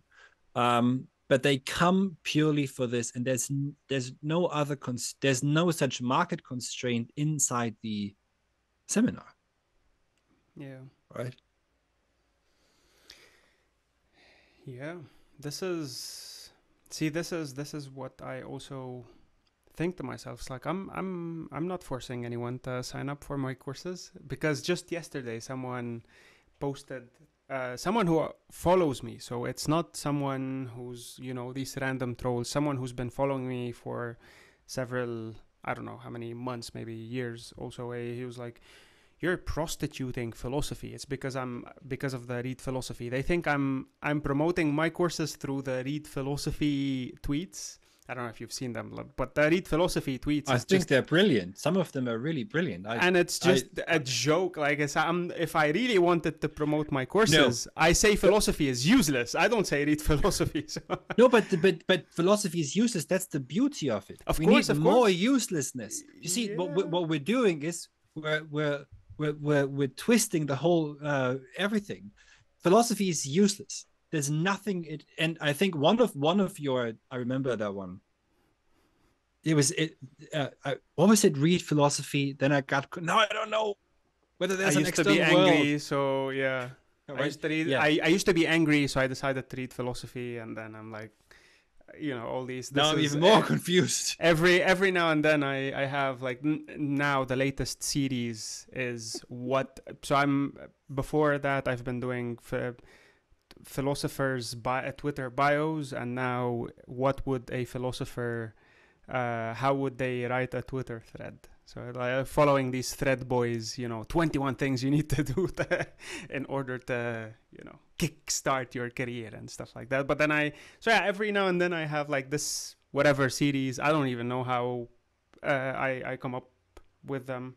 But yeah before that it's i used to be angry so i decided to read philosophy then i got more confused and i have like several tweets about those Yeah, Like, every time I, I i i change something but yes so what do you res- what did you respond though i interrupted you i'm sorry what did you respond to this person No, no, nothing. It's this is. Uh, I I told him like, yeah, great. I'm like I'm I'm happy to do that. It's see a, a few a few years ago, I would have felt bad about this. Someone calling me, you know, like you're prostituting philosophy or anything of the sort. Nowadays, I'm just like, I honestly, genuinely, in hindsight, feel like I was a grifter when I was at university. Honestly, like I'm not even joking, and it's not because of like I'm a It grifter feels, it's dishonest. It, feels dishonest yes. on like seriously because it's because the entire and this is i don't know if this is the american system at least. It's it's probably Mm. different in, in in the uk and europe because here you only people who are majoring in philosophy get to take philosophy courses the entire thought process is of course they call them liberal arts curriculums and stuff like that but then deep down what you're really trying to do is think about ways to force students to take courses. Like this is Yeah, why many many many uh, humanities professors would give easy a's just to get more students and this is how it was. yeah or to and yes or to get i mean i remember distinctly someone who's now become over the past decade uh, and he was you know he was priming for this extreme careerist at king's college london. He he was teaching he still is there he was teaching aesthetics so i've given a lot away already. But i remember his seminars um which were cuddle muddle you know they were just willy nilly anything goes. I remember because he was he was he just he just he just got in, so he had a, a, a lectureship, and your career depends not only but also upon evaluations. I don't think it's actually I don't really know whether they're actually that important, but at least there's a fear of them. And I remember this this young professor lecturer just approving just go, of anything you know there, there was one girl in there who shouldn't have been at university she just kept saying everything is art i, I just think everything is art and, every, and i think everything is good art and this was this was her contribution to hegel and he, he just kept saying yeah great really great stuff uh, great yeah great and so yeah hegel just says thesis antithesis synthesis so like That's just basically Hegel. It was such a bizarre seminar. I thought, this is King's College. I mean, there were much better people. There were others who were very different. Uh, but this was someone who was young, fearful of the of of the evaluation. So anything, and I was actually, I, I remember getting to say, it's after three or four weeks, I said, no, not everything is hard. You know, the the, the the, the, the, trash can outside is not hard. Uh, and and even like even you know Duchamp etc. Uh, is not I would say high art for many reasons. And she had there was her there was no difference between a Harry Potter novel and Goethe's Faust because they're both books, and maybe even uh, Harry Potter is better because more people read it. Um, so it was just a sheer relativism that didn't even have anything interesting to say either. But and so everyone basically also leaves at this point now with with an average mark. So not A's, that would be too much. Uh, but it, it's everyone goes leaves university now with a, what they call a two one or a two two, which is either a B plus or a B minus or a B ish, two one two two. It's it's the what do they call it? The Bell's curve. Yeah, I think so. Yeah. Uh, yeah. And also uh, the, the, reason the reason why I left, I got Yeah. uh, I left uh, one of the universities, LEU. It's it's all on on Twitter, well documented, is because uh, one week into the course, you know, in US uh, system, you have an add and drop period, and so the first session. I tell I had I had two courses, one existentialism and literature and one freshman philosophy. yeah. I tell freshman students, uh, this is not an easy A course. Like you, if you want a good grade, you need to study for this course. Like you don't expect that you you come in here because you want to increase your GPA. so the chairperson two days later calls me and he's like, "What have you done? You're threatening students." They complained to ah. the dean, and I told him, "What do you mean they?" I threaten students. that I have a gun at you? know Like, did I bring a gun?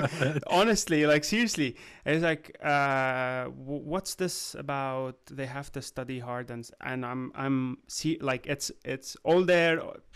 2019 20 i think i forgot even but it's all there with the emails and everything and he's like uh, at at lu we don't threaten students and yeah it's like wires crossed in my brain and i told him look this is it. Like you're uh, this is where i draw the line. You telling me how to run my classes. Yeah. uh, i'm out. And i walked out but before i left i uh, i was actually shouting like everyone heard what i was saying. Like i was actually shouting no insults nothing that is insulting or improper. But i was just this is where i draw the line. You're not going to be telling me how to teach my courses. I quit. And so 15 minutes later he's like i've spoken with the dean and we agreed like that yeah no, we're we don't want your services anymore. So yeah That was quick then. that was Uh, of- of course because it's like this is what you're talking about it's like at one point if i really if i re- that also on the side and i don't really mind mention, mentioning them at uh, because you're you're talking about fearing you know the consequences and uh, whatever i've i've caught students plagiarizing Yeah. and instead of you know taking the proper like I, i'm not even saying dean's warning. It's just like okay so how are we going to, to work things uh, out? You you usually report it to the chairperson and the very same chairperson would be like let's fix it. So and another ex student of mine who's now teaching at that institution sent Yeah. me a message a few weeks ago. He's like, How did you actually manage to teach there? Because there are two students that I failed and they don't want them to fail. I can send you the screenshot like Yeah, yeah. afterwards. It's it's just it's it's you know like I don't I don't think it's it's as bad elsewhere. No. uh, but Well, you know, so talk about grifting, right? Like this is for me grifting.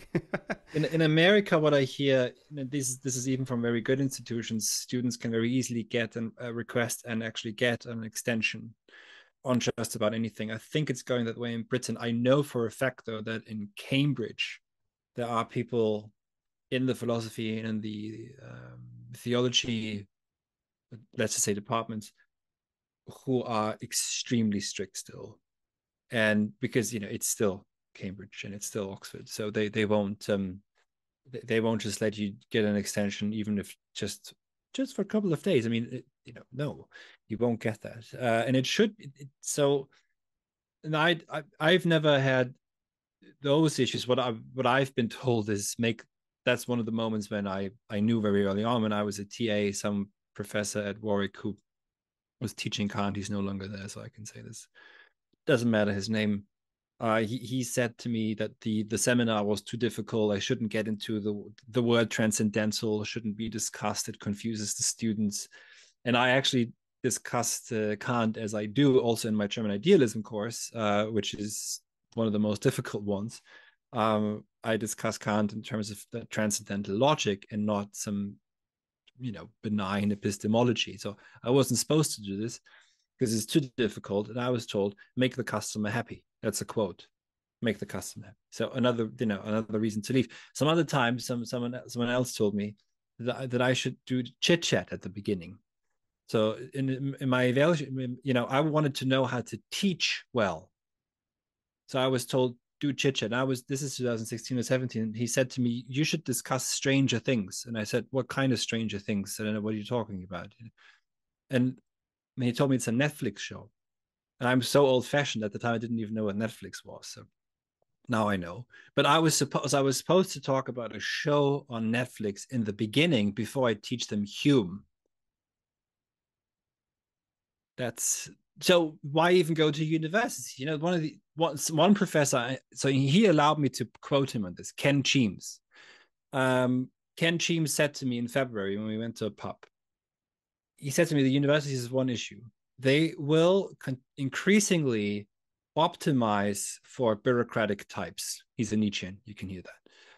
And they will crowd out any creative types. So they, they will not be going to university in the future, he thinks. Because the, the what they will attract is bureaucrats. And, and, and I don't just mean bureaucrats, and bureaucratic types in the administration, but bureaucratic students, people who just, you know, do the job and do do as told and make the customer happy. And so it will continue forevermore. Um, but it won't be um you will not grow as a human being. You won't be challenged. You won't have a professor who professes publicly to something and then challenges you to defend what you had to say. Again, places like Cambridge and Oxford will be will be different, I think, uh, in some some areas at least. But other liberal arts colleges are going that way, and they're hence making themselves obsolete because they do want to make the customer happy. See, but this is like I I agree with the sentiment, but I also see uh, the other side of things, and this is I'll I'll tell you my approach. Like it's not the same thing to teach freshman philosophy than to teach intro to philosophy than to teach uh, aesthetics because I've taught like existentialism, existentialism in literature, intro. So personally, I adapt as a function of the course I'm giving. So, for example, if I'm teaching now a philosophy for professionals course or an intro to philosophy or an existentialism yeah. course, it's not the same as if I'm teaching philosophy of art.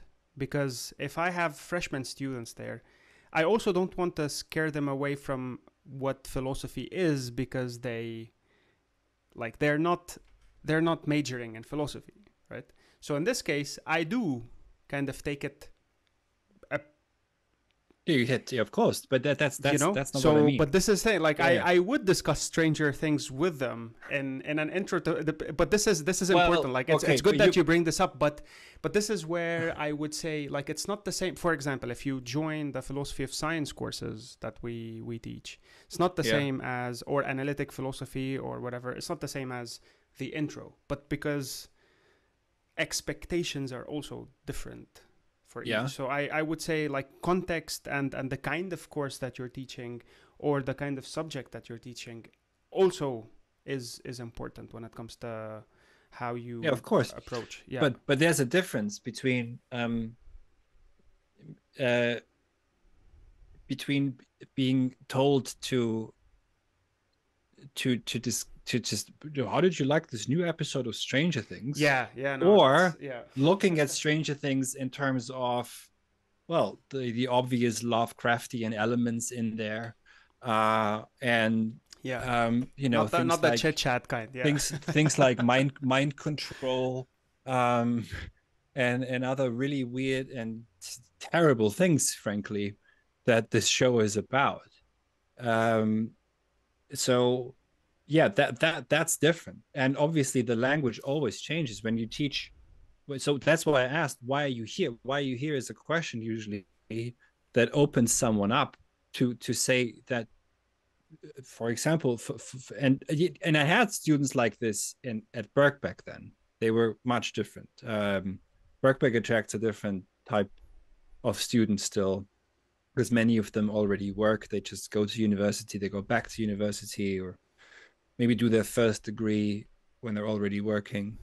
Um, they were much more open. They had much better discussions there. But the more streamlined the more important um, uh, uh, uh, uh, uh, sort of uh, uh, universities or so that more important in terms of the ranking they they may be um, more they may just attract a different kind of student i suppose. So yes obviously the language changes and i'm not just jumping in and so you know this is why plato's theory of forms is is not even a thing uh, because of the parmenides dialogue blah blah and this is the first seminar. No you begin of course that's i, I agree with this completely.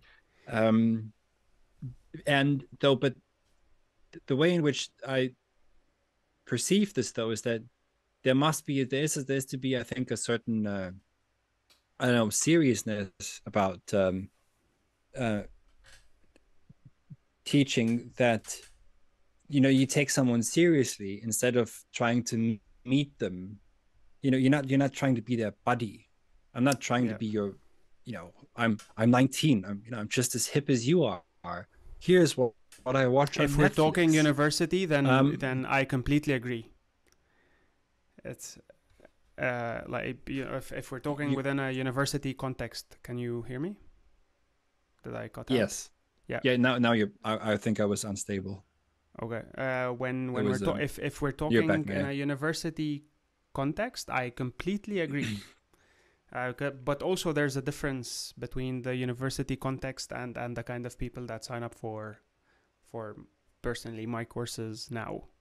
So I the because you were mentioning you have uh, a 16 year old signing up for your classes. In my case, the youngest so far has been like they're 25 years old but then the oldest so it's a, it's Yeah. a different kind of demographic and different kind of uh, people but yes if, if we're talking university like you're trying to be hip because you want to blend in etc yeah that's a different a completely different story so i agree with you there Yeah. But but even but even outside, you you know you, you have to take the people who come. You have to take them seriously, De- definitely. And yeah. and taking them seriously um, means also that you that you you keep a certain you keep a certain um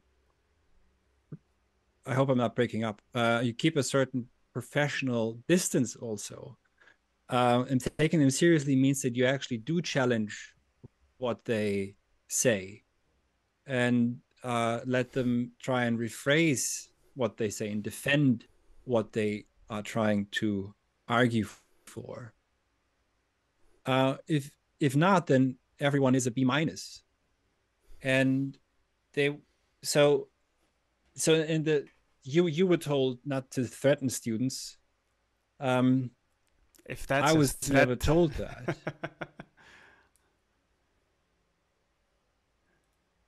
yeah. if if that's even considered a threat, it's like telling them you have to study to get a good grade. I don't know if you're. I Say, think sorry, say that again. It was breaking up a bit. Uh, yeah, I, I'm I'm saying it's insofar as a threat is called like telling them to they have to study hard is is a threat is understood as a threat to get good grades. Yeah, so so that's that's really bizarre. Um, and that that this this would be this that this would be perceived as um a, a threat. I mean, that, that's that's what a classroom is is for is to to tell people that this is not easy uh, and and even the beginning is not easy but what in the beginning you you what what i think a good teacher in philosophy has to do is to show students um that there's something at stake in philosophy that it isn't just um some theory or so but that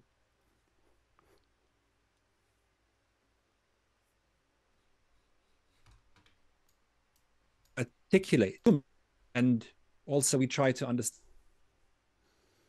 Uh, you're breaking. so out. obviously what is at stake is now you're back.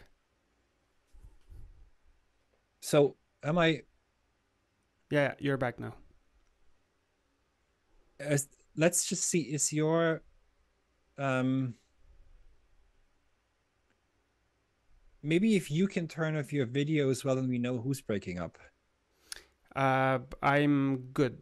So it's been good so far. Yeah. Because the strange thing is that you you just say You so we had a bit of a technical issue but you were you were saying in between the break that we're not complaining uh, and i would also say it's not grifting I'll just tell you a story i was in 2019 i went to the lake district which is in the north of england and i was on my own i hiked around uh, lake Buttermere for example which is one of the lakes that turner painted uh, it's also where Withnail and I is set, the one of the greatest English films ever made. If you don't know it, you have to see it with Richard Grant. And um, anyways, I I wrote something back then which I've never published, which was on philosophy and patronage, because I was uh, thinking I was thinking through this also because as you know you, you grew up with the the specter of the sophists, but I think the sophists the issue is not so much they they charge. The issue is how they teach and and what they teach. Um and that's i think uh, more the issue. I would also think that aristotle when he was alexander's teacher i would presume that um he at least received board. So he will not have done this for free. And uh, I, I I will leave it at that for now. I think you wanted to say th- something on com- com- complaining, or rather, or not complaining, but diagnosing yeah. the situation. No, it's uh, but see, yeah, this is this is the thing. Like we, uh, if if anyone is is listening thus far, I mean, because I've I've spoken about this before, but this is it's it's very rare that I come across people who have experienced a similar kind of or or who who have been through a similar kind of experience in Yeah. in academia. And I will insist on our, our two different approaches because I like I try to avoid like I don't see I never went into philosophy to become a scholar. And this is this is why I think it's it's curious these these two cases yours and mine because i see you as doing hardcore philosophy like actual philosophy in my case i get others to do the hardcore stuff i uh, like you know Islamic philosophy, philosophy of science, uh, philosophy and language. I have Colin Gorey, uh, Philippe Caponis, uh, Hani Hassan, and you know, so so these people do do the stuff. I I I found it more. Um, I find myself just like Bryan Magee. Probably even Bryan Magee was was much better than myself. But like I see myself as a popularizer you, you, of, of you, philosophy if you learned a bit of a British accent, you would you'd be a master in understatement. yeah, but so but, so but, it's uh, the long long story short. Like all this is talking about academia is because we've we're already this is what we were discussing. We are outside academia, right? And uh, it's it's not that I have a problem with academia as such. It's just that we're trying to diagnose yeah. the problems uh, that academia yeah. is experiencing and unlike uh, like I, I don't think you can solve these problems from within academia from within the system. That's it. So but yeah, but yeah. it's i think it's important to try to diagnose where the problem is like you know because we talked about the inefficiency of the market. We talked about uh, putting uh, evaluation and all sorts of mecha- mechanisms to you know at least try to balance things out because you have so many people uh, with PhDs, very little vacancies, but then ultimately the market is changing, things are changing. 30 years ago, things were different. This is why they rely heavily on publishing, etc., just to give academia the benefit of the doubt. Yeah. And as you were saying, funding has become also important. Uh, And everyone on, on their CV now include having how how much they they got from from different projects etc so it's it's kind of weird because the very same people who feel like they're seeking truth and searching for truth are also the same people who depend by and large on on finding new funding because they're playing the game right? So it's i don't see us as complaining as yeah. much as trying to genuinely understand why things have shifted. But at the same time you would ask me am i interested in in getting an, a, a, a full-time position in academia I, t- I would tell you honestly no. What i would do from here onwards is perhaps and we can we can end on this note like if if i would only teach on an adjunct basis. So for example if i can teach one course two courses uh, i would be affiliated with the university because i love teaching. But yeah. other than that like i'm not interested in all this academia game. So yeah. maybe to end uh, on a positive note, how would you uh, do things well, in your case? Well, I, I, I will continue as as as I've been doing. It will, it, there will be more uh, structures in place, and I'm quite interested in is the cursus honorum of the uh, Roman military, the Roman army. Uh, that that could be a way, you know, um, to to find a structure uh, for how people rise within uh, the ranks in an organization, but there's also always an element of steering a ship. Uh, Kubernetes, right? Cybernetics, after after all, comes from being a steerman. So in the digital sphere, it's always very liquid. So uh, virtues like uh, loyalty, honesty, etc., they're very important. Um, so um, just in organizational terms. Uh, what I can foresee, though, and this is to a certain degree already happening, is that there will be new.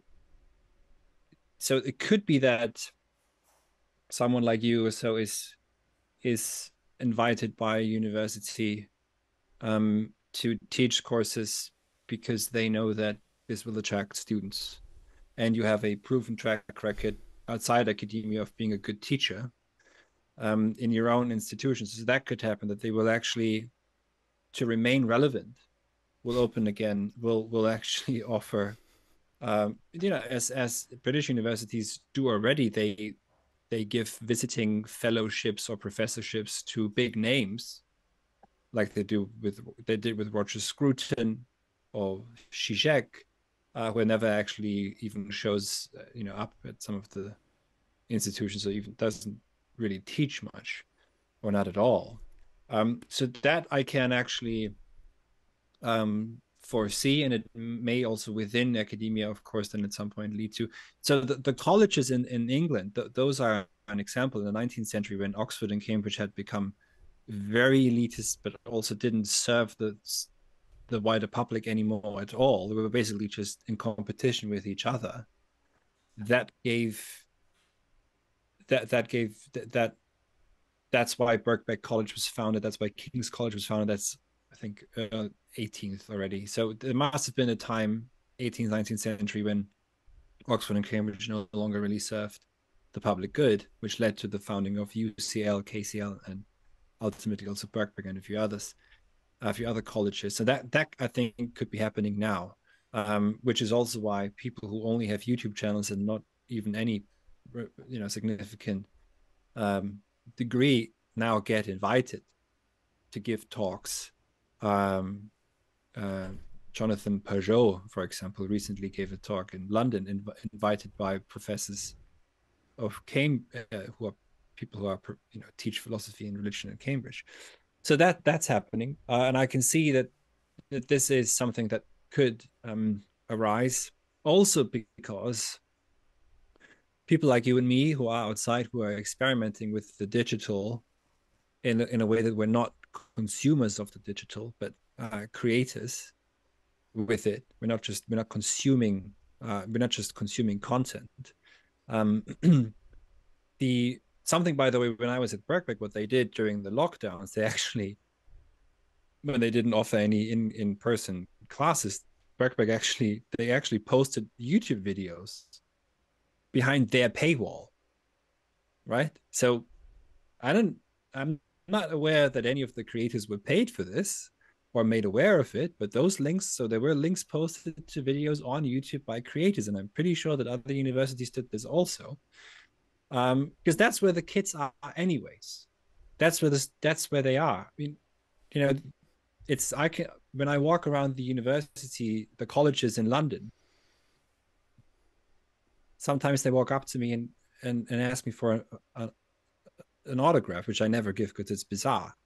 Um, obviously, young philosophy student students or so they they they they watch videos by me, uh, and so that's kind of the weird uh, side of this. But that's where young people are, and we're able to deal, I think, or address the digital and and experiment with it that maybe older institutions aren't yet, where they just use it to to streamline or make worse some of their internal processes that are already in place. Whereas we're building this from the ground up on the digital, so it's being built up completely in a completely different way uh, from the beginning, and that's that's a, major difference. So the way I see this going is, um, we'll we'll be, you know, building up. I see by the end of this decade we know where we are.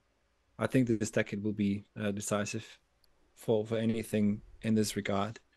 Um, but it may very well be that it actually leads to a slight uh, change inside the institutions, and outside there will be a greater awareness of an appreciation of this this way of of learning um, and a way for people to, as I said before, to find the others and connect with others and in their common search. So, yeah, a lot of uh, opportunities for probably academia and people like us who are doing things outside of it. Uh, adapt uh, the digital age without the fuss you know it's not it's it's not the hype and oh you have to do this or do that but then things change and it's like thing yeah. where things are changing and so they they have think, to just adapt yeah. one way or or the other I, think the reason why you and i are doing well is because we're at least as far as i can tell what i see from you is that we're not following any of the hypes uh, we're exactly. basically just offering what it is that you said before. I'd like I'd be an adjunct because I want because you love to teach. So do I.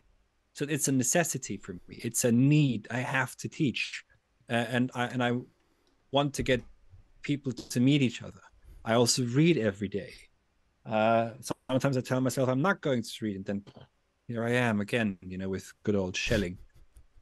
And who else? Whoever else. Uh, so this is why there's, there's there's no hype. We don't follow any of what it is that you supposedly have to do. We we use the tools that we find the most intuitive to use, not because anyone told us to. We use Gumroad. I use Teachable because it was the first. It's easy enough for me. I just need to upload something, and it looks good enough. Uh, I can have other people teach for me, and it's a very easy thing to set them up as authors, etc. Uh, I use Zoom because it's I understand it. Um, there's not much to understand, and uh, I, I've so I've someone recently asked me actually if I have a business mentor or if I've done what kind of paid ads and this, that, and the other, a sales funnel. I didn't even know what a sale. I still don't know what a sales funnel is. Uh, I don't know any of these marketing terms. Um, what I do is I offer, I we put together, I think really great syllabi course study guides uh, that people can download. And even if they don't take the course, they have something in their hand. They've got a reading list, etc., and quotes and uh, an idea where to start on Hegel or whoever else. Um, sometimes I don't even have that. I just have a, a landing page. I've never, ever, uh, I have no idea how to write a landing page. I don't have an FAQ on my landing pages because I sometimes I send out FAQ emails when people actually ask me questions or people ask me questions on YouTube so I have no idea how to write a landing page, how to do this properly. It's basically because I think once you start doing this, it becomes contrived and fakery. So I I don't do it. I it just comes out as it comes out. Um, this is what we're going to do. This is what we're going to read. This is when we meet. This is what you get. Basta. Enough. Yeah, yeah, yeah. This is. I think this is. This is also important. Like, of course, eventually people need to hear about you one way or the other, and and we we do whatever uh, is within uh, our means to to do that. Uh, yeah, producing content, etc. But then ultimately, it's it's just that, it's just but, using but the tools that we have at our disposal in order to provide a, some sort of service. Yeah, but you see, but see, when so on the outs, on the face of it, yes, we're producing content, but in reality, I mean, right now, but in reality, we've been talking for two and a half hours. Um, and it's an occasion for us to talk more, to see where there are commonalities and where there are uh, disagreements, and how someone else is approaching this and why. So it's we're not te- we're technically perhaps producing content, but ultimately we aren't. Uh, essentially, go on. Yeah, no, no. Maybe go, that's go not ahead, disagree. No, so no, no, essentially, what we're doing is we're having a conversation. We're getting to know each other better, uh, and so that's you're all. Then we're already outside the the the the, the machinations. I think uh, and and this is uh, we can also end with this. This is why I I personally like Joe Rogan because uh, Joe Rogan does this. Uh, people can agree or disagree, and I see everyone going berserk about Joe Rogan and what he does, etc. Sometimes, every now and then, with the hypes, but but see, I I, I do listen to to some of uh, the his conversations and it's it's basically this and i think this is this is why people tune in to to, to his podcast because what he does is creates this space uh, to to get to know each other between uh, himself and and his guests. And it yeah, it's not it's yeah it's uh, you they get to know each other and at the same time you're you're tuning into some sort of you know conversation where it, you're just learning something new maybe even not uh, but a lot of his episodes with with comedians are just you know rants and ramblings and stuff but it's just it's interesting. Like this is so yeah you're right. Like it's it's we're we're not it, it's just the kind It's- of conversation where we are getting to know each other. And if there's anyone out there who's interested in in listening to this well you're welcome as well right? It's just Yeah. creating this space for dialogue where you get to know each other creates uh, some sort of dialogue agreements disagreements. And it's just where i Which- i personally so- had fun Yeah, I mean, we wouldn't be still be sitting here two and a half hours later. Um, the thing is, though, you know, there's so what what we grew up with is, of course, television, and on television you have two or three minute segments, uh, and those are maybe not scripted, but they are certainly, in some sense, pre-scripted, um, in the sense that everybody basically already knows what will be said, even if it's a controversial um, uh, uh, segment. It's a segment. It has this is it. You know, thirty seconds of this, then this, and this, and this, and they've got they've got a teleprompter running, etc. Now within academia, unfortunately, very often colleagues do not have time to sit down with another colleague and just have a philosophical conversation. It's it's it's always in it's always formal, which has its merits. Uh, someone presents a talk, then there are questions, but that can also just become a bit performative, let's say, and and you see young kids becoming performers as well, you know. Uh, but very rarely have I seen just a, an open conversation between colleagues, between professors who would just meet. Um, I don't know why that no longer is the case. I know that Heidegger took walks with with with Nate. He took uh, his students to, and I tried to do this. I did this as well. I took students uh, to the pub, etc., just to have weird philosophical conversations. Um, but so very often these dialogues don't take place within, at least in my experience, within academia. Yeah, and that's uh, that's also partly why I started uh, this podcast. This has been uh, ongoing on and off before it was a uh, before I started. First time I started, it was a podcast in in Arabic, trying to Yeah, mimic the Joe Rogan thing, and then I switched it to marketplace discussions in English. It was a lecture series. I would invite people to give lectures, but then for the convenience of scheduling, uh, I decided to just turn it into a podcast because it's easier to get people from across the globe to have a chat with. Uh, get to know each other on the one hand, but on the other hand, learn a thing or two as well. I, this is uh,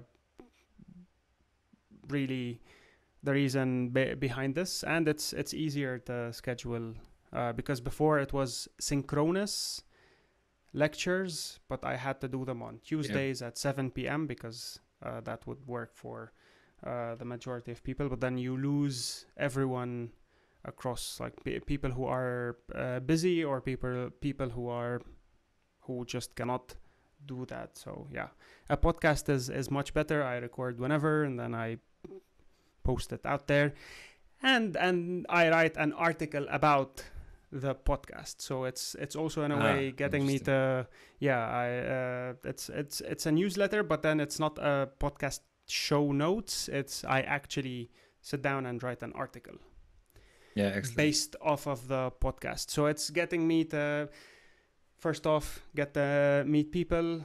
I'm reading all sorts of stuff. I'm writing as well. So it's a win for me, win for everyone. It's a win, win, win, win, whatever. So yeah. Uh, but uh, this this has been really enjoyable. I know it's it's been two hours and and probably 40 minutes now. But it's one of uh, those podcasts or discussions where I didn't even feel like it's been two hours and 30 minutes. Probably uh, like this is an in- indication for us that it's been enjoyable. I don't know about uh, people who are tuning in, but doesn't really matter. If people have listened thus far, where they where can they find you? Yeah, thank you very much, Mahmoud, again for the invitation. I uh, I I feel the same. Uh, very briefly, um, uh, if people type in my name, and maybe you can leave a link. There's a, a YouTube channel, Johannes Niederhauser, and there's not that many Johannes Niederhausers, so Uh, you'll, you'll find me quickly. And um, there's well, and then there's my my website, my my Halkyon Academy, um, where people can sign up to courses, and that's the best way to support the work to Yeah. sign up for a course. Sounds good, and I will I will link them uh, all both in the article I'm gonna write. I still don't know uh, the the angle I'm going to be taking, but uh, yeah, I'll I'll link all that both in the description and in the article. Thank you very much for the discussion. This has been really fun, and it's always good to see Likewise. unlike academia people who are doing something similar and we all end up supporting each other one way or the other because i mean we're in this together and we understand how difficult it can be to you know it's do difficult, this. yeah. yeah but, we'll uh, we'll, we'll yeah. have Mahmoud. We'll have you on. So this is uh, after this is out on your channel. Will be on mine to continue. yeah i'm uh, i'm looking forward and next time we'll we'll we'll probably talk about i don't know whatever uh comes up when when we have this discussion thank you very much uh johannes Excellent. and thank you everyone for listening Thanks everyone. Bye.